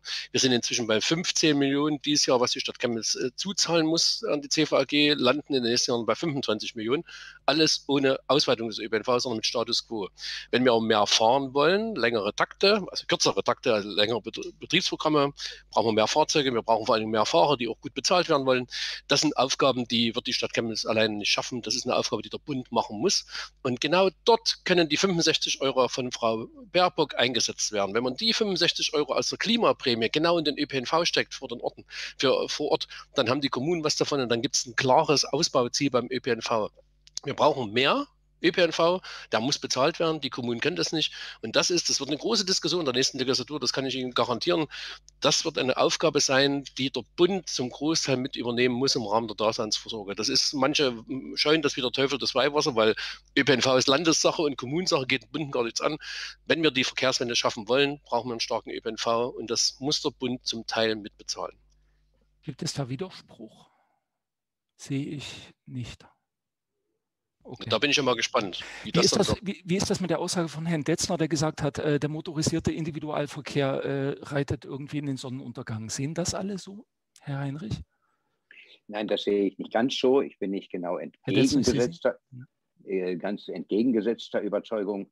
Ich glaube, dass es auf eine neue Mischung oder ein neuer Mix hinausläuft. Und da bin ich, die Anfangsfrage war ja gewesen, E-Mobilität ne? und wie soll die gefördert werden. Die ist jetzt sehr stark gefördert worden. Wir haben bis äh, auf die Aussage von Frau Merkel vor einigen Jahren, dass, dass wir äh, diese eine Million erreichen. Das haben wir um ein Jahr gerissen oder ein halbes, dreiviertel Jahr gerissen. Das heißt, diese Förderung hatte ihre Auswirkungen. Aber jetzt müssen wir aufpassen, dass wir dann nicht im Markt drin rummehren zu lange. Ja? Ähm, und da ist die Wasserstofftechnologie das eine, da ist die Elektromobilität das zweite und das sind die alten, äh, äh, aber natürlich optimierten. Und ich bin der festen Überzeugung, dass selbst die drei zusammen eine gute, ne, bei dem anderen Thema haben wir vorhin, es muss mehrere Möglichkeiten geben, Herr Kronowski, haben Sie gesagt, bei dem Energieherkunft. Aber ich glaube, dass auch dieses öffentliche Nahverkehr und Fahrrad, aber das geht nicht über einen Kamm, was Deutschland angeht. Das geht einfach nicht. Ich meine, ich wohne in Rabenstein und jemand, der in der Innenstadt wohnt, hat einfach eine vollkommen andere Situation. Der in der Innenstadt wohnt, braucht keinen Parkplatz, der braucht überhaupt nicht nachdenken. Ich kann über das Fahrrad bei meinen Terminen mit diesen Klamotten nicht, äh, gar nicht erst nachdenken. Ja. Ne, äh, von mir aus zu Hause. Und deshalb, da denke ich, nein, in den Horizont fährt das ganz sicher nicht, aber wir dürfen es dimmen, um die Natur am wenigsten zu belasten. Bitte, Herr Detzner, noch mal ganz kurz und dann Frau Köpfer. Ja, ich habe ich habe nicht gesagt, dass der motorisierte Individualverkehr prinzipiell aussterben wird. Äh, hm. Wir werden ihn noch eine ganze Weile brauchen, aber wir werden die Mobilität so wandeln müssen, dass sich das reduziert. Es gibt viele Leute, die rein arbeitsmäßig gar nicht in der Lage sind, auf öffentliche Verkehr und andere Verkehrsformen zurückzugreifen. Da werden wir noch eine ganze Weile brauchen, um Arbeits- und Wirtschaftsprozesse umzubauen. Und äh, natürlich sage ich nicht, dass die Leute in ländlichen Räumen kein Auto mehr fahren dürfen. Das geht ja. momentan ohne Auto nicht, aber wir müssen die Bedingungen ändern, dass es mit weniger Auto geht. Danke für die Klarstellung, Frau Köpfer. Also ich möchte das äh, Wort Carsharing, also sozusagen sich das Auto teilen, auch nochmal ähm, groß hineinbringen. Also da kann man auf jeden Fall, gerade weil das steuerrechtlich heute nochmal schon mal angesprochen wird, dass man das Steuerrecht Klimaschutz ermöglichen kann. Und das sehe ich beim Carsharing auf jeden Fall. Also die meisten Fahrzeuge, das kann man in Chemnitz, sei es in Rabenstein, sei es auf dem Sonnenberg, sei es in der Innenstadt beobachten, sind ja keine Fahrzeuge, sondern Stehzeuge. Und es ähm, muss dahin gehen, dass man sagt, Mobilität muss so gedacht werden, dass so ein Fahrzeug eben auch fährt, also im Sinne eines Carsharings oder wer das aus Leipzig vielleicht sogar kennt, ähm, Clean Car, also dass es einfach Möglichkeiten gibt, dass eine Mobilität, dass ein Auto durch die Gegend fährt, aber eben zum Beispiel jemanden mitnimmt. Das ja. darf nicht daran enden, dass wir irgendwelche Arbeitsbedingungen wie bei Uber haben. Das müssen wir auf jeden Fall gut steuern. Aber in dem Bereich Carsharing und der geteilten Nutzung, sei es zum Beispiel ein Wohnblock, fünf Autos, wie auch immer, da werden sich Möglichkeiten finden. Aber ich sehe es ja einfach bei uns im Innenhof, da stehen halt einfach so und so viele Mietparteien und so und so viele Autos stehen halt einfach rum. Und ich denke mir, das ist einerseits verschwendetes Geld, das sind einerseits verschwendete Ressourcen. Und so will ich Mobilität morgen mit dem Wasserstoff, mit dem Verbrenner, noch mit dem E-Mobil einfach überhaupt nicht sehen. Hm. Herr Müller-Rosentritt, bitte ganz kurz nochmal. Ja, ich wollte nur einfach sagen, ich äh, finde diesen Kampf gegen die individuelle Mobilität irgendwie schräg. Denn äh, wenn dort was CO2-Neutrales hinten rauskommt, äh, kann ich doch äh, so viel individuell fahren, wie ich will. Aber es gibt doch keinen Grund. Es gibt ja sogar Möglichkeiten, äh, kann ich später mal ausführen. Je mehr man fährt, desto mehr CO2 bindet man. Aber ich finde, ja. diese, diese, diese, diese Pflicht, dass wir jetzt alle irgendwie auf Bus und Bahn umsteigen sollen, finde ich irgendwie, finde ich irgendwie Käse. Also es, es darf aber weiterhin ein Recht auf individuelle Mobilität geben. Wenn hinten natürlich wenn, wenn, das, wenn das durch synthetische Kraftstoffe CO2, sage ich mal, deutlich reduziert wird, warum soll ich dann weniger Auto fahren? Ja, eine Pflicht, äh, Bus und Bahn zu benutzen, habe ich jetzt nirgends rausgehört. Ähm, wir sind jetzt ungefähr eine Viertelstunde äh, vor dem äh, avisierten Ende der Veranstaltung und äh, wir haben zwei Möglichkeiten. Ich würde gerne Thomas Platz noch fragen, ob es äh, wesentliche Fragen noch zum Thema gibt, äh, die das noch weiter vertiefen und die wichtig sind oder vielleicht mehrere ich Fragen. das Bahnthema noch zu beantworten? Herr Müller, ganz kurz. Äh, ja, also äh, die Frage war, ob das attraktiv genug ist für die äh, Stadt Chemnitz und die Region. Es ist der Beginn. Also nach 15 Jahren dann endlich wieder Fernverkehr in Chemnitz zu haben ab dem Jahr 2022 ist gut. Wir können uns dann immer wieder streiten, ob das alles richtig ist, wie die Linie ist. Die Ausschreibung läuft ja dazu.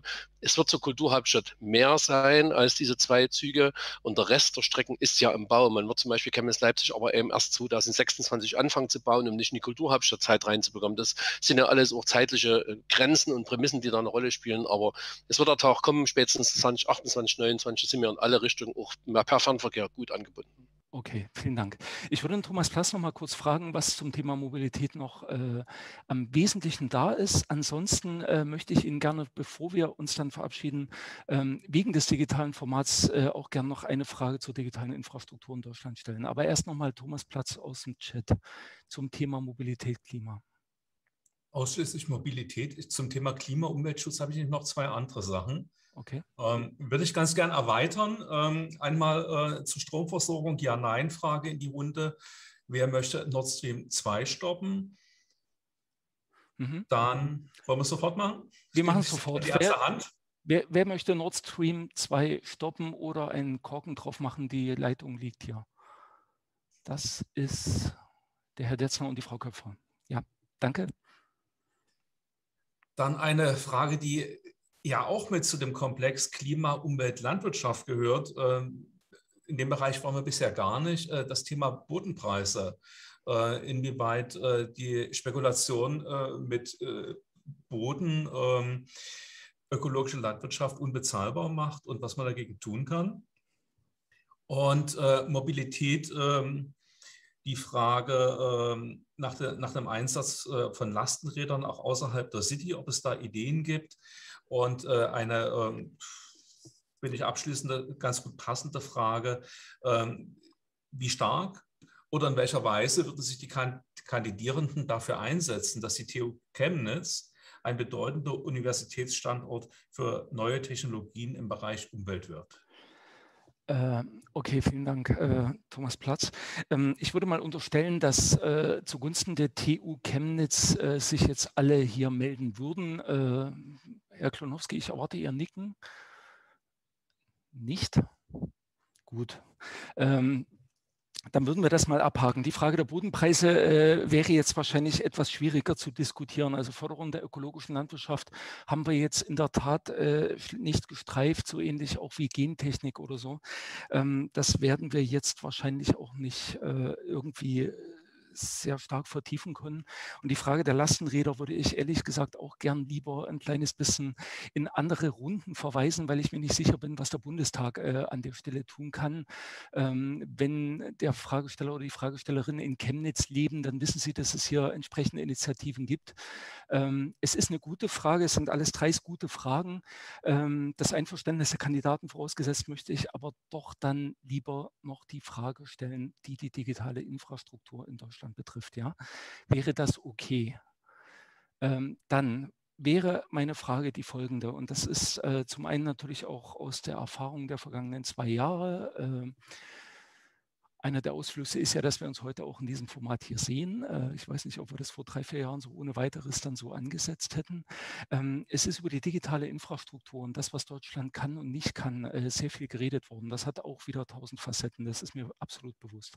Meine Frage ist, was kann sich in den kommenden vier Jahren realistischerweise ändern durch entsprechende Weichenstellungen, für die Sie sich stark machen wollen im Bundestag? Das betrifft zum einen die die Infrastruktur, äh, den Ausbau von Netzen, äh, die Frage 5G etc. pp. Das zweite aber auch die Innovationskraft ähm, in unserem Land ähm, in dieser Stelle. Ich würde da nochmal äh, jemanden ansprechen, Herr Müller-Rosentritt, vielleicht können Sie dazu antworten?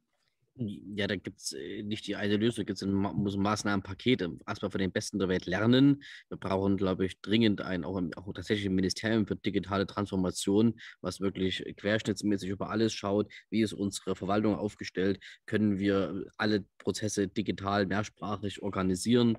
Wie ist es mit den, wie ist es mit den Schulen? Wie ist das mit, mit dem Ministerium Visa-Verfahren, wenn ich sehe, dass in Israel das einen Tag dauert, wenn alle Unterlagen vorliegen, wenn ich das digital beantrage und bei uns mehrere Monate, äh, Indien teilweise bis zu einem Jahr, ähm, da sind wir Lichtjahre hinter, hinter dem hinterher, was uns kleinere Länder vormachen. Ja, die haben es leicht einfacher, aber digitales, digitale Dinge sind nun mal schnell skalierbar. Und man muss wirklich nur von den Besten auf der Welt lernen, hier viele Dinge umsetzen und und das kommt hinzu, eine Generation mit ausbilden, die von Grund auf digital affin ist und digitale Prozesse versteht. Und da meine ich nicht irgendwie dann, ich lerne den Umgang mit dem Handy, sondern, oder, sondern ich lerne die Programmiersprache am Ende dahinter.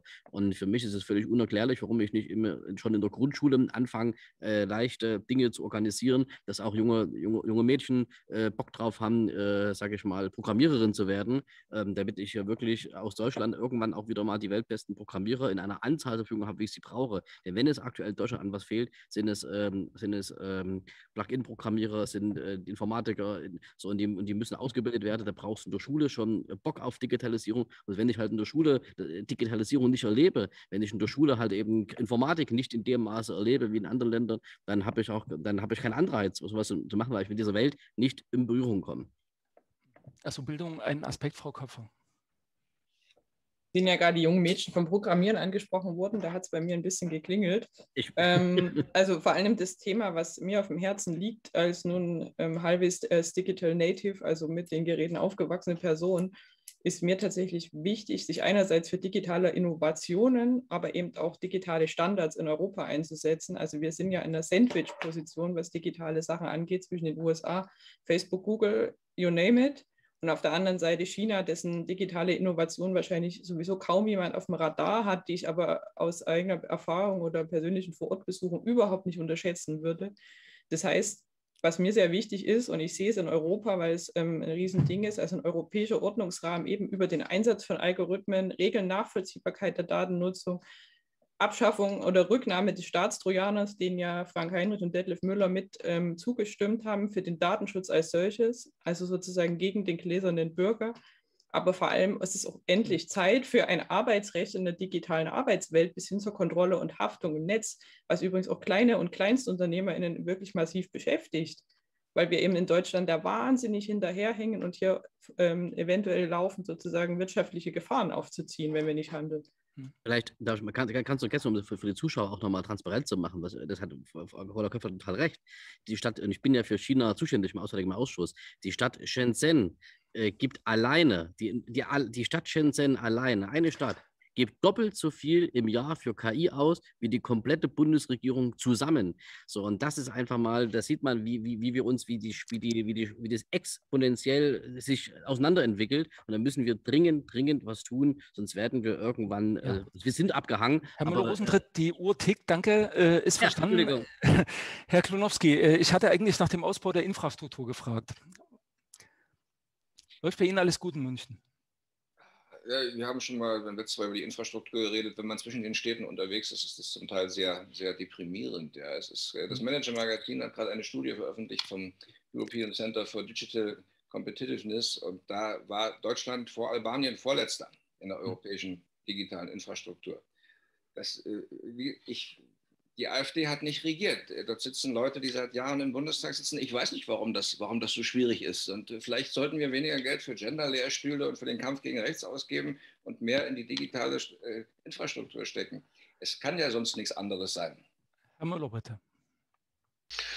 Der Punkt ist ganz einfach der, das sind zwei getrennte Sachen. Das ist die digitale Infrastruktur. Breitband wird jetzt groß gefördert, mhm. haben wir als Bund ja auch viele, viele Millionen, Milliarden jetzt reingesteckt. Wir haben ganz einfach ein paar Jahre verloren. Wir haben die ersten Jahre dort verloren, weil wir uns als Bund, Frank Heinrich wird sich das daran erinnern, wir haben uns auf das Kupferkabel verlassen, um das mal ganz konkret ja. zu sagen. Wir haben uns auf Kupfer verlassen, wir haben uns auf Deutsche Telekom verlassen, die mit ihrer Vektortechnologie das schon irgendwie hinkriegen will. Nee, hat sie nicht, sondern wir mussten das jetzt sozusagen machen und dort haben wir mindestens fünf oder acht Jahre verloren. Das ist der erste Punkt. Und ich denke, die Infrastruktur, die ist in, in Sie sehen es ja, in Chemnitz wird überall gebuddelt. Das werden wir in den nächsten Jahren hinbekommen. Viel wichtiger ist das, was Frank Müller-Rosenritt sagte, auch die digitale Affinität hinzubekommen in die, in die Leute, dass man ganz einfach auch digital arbeiten kann, digital arbeiten muss und auch digital arbeiten will. Ja, Herr Tetzner, bitte.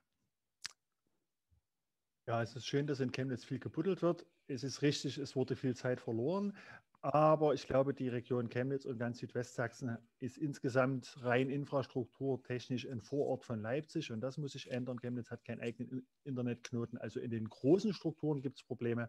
Das merken nicht nur die Endverbraucher, sondern auch die Firmen und die Unternehmen. Es gibt wenige Plätze in Chemnitz, wo sich ein IT-Unternehmen, äh, was hohen Datendurchsatz braucht, tatsächlich ansiedeln könnte weil es gar nicht die Grundinfrastruktur da ist. Also da müssen wir noch deutlich mehr tun und da sind ähm, massive Fehler gemacht worden, gerade wenn wir in den ländlichen Raum gucken. Der freie Markt bringt kein Glasfaser ins letzte Dorf. Es geht letztendlich nur mit, einer, mit Infrastrukturen in der öffentlichen Hand. Und bei dem ganzen Mobilfunk geht es weiter. Viele andere Staaten in Europa haben uns gezeigt, dass ein Netzausbau ganz anders funktioniert und dass äh, freies, freies WLAN für alle und kostenlos möglich ist. Ähm, dort sind langfristig über die Art und Weise vom, vom, vom Versteigern von Lizenzen und so weiter politische Fehler gemacht worden, die sich langfristig als nicht sinnvoll erwiesen haben. Da müssen wir mehr machen. Und zu den anderen Sachen ist viel Richtiges gesagt worden. Ich möchte nur noch ganz kurz äh, anfügen, für Schulen und für Digitalisierung von Verwaltung und so weiter ist es vor allen Dingen wichtig, auch, dass wir Personal ausbilden und eigenes Know-how, weil einfach Schulen Tablets zu kaufen und zu sagen, dann macht mal, funktioniert nicht. Wir brauchen auch Leute, die das Ganze pflegen, pflegen und warten. Und da muss mehr Geld in die Hand genommen werden. Und da, dabei müssen die Kommunen auch vom Bund stärker unterstützt werden, damit es überhaupt funktionieren kann. Danke. Herr Heinrich, haben Sie noch was hinzuzufügen? Also ich habe ja an den anderen Stellen manchmal genickt, aber das eine ist tatsächlich, da, das haben wir auch reingeschrieben, wir wollen ein Bundesministerium und nicht nur als Annex Kanzleramt, wie wir es bis jetzt hatten.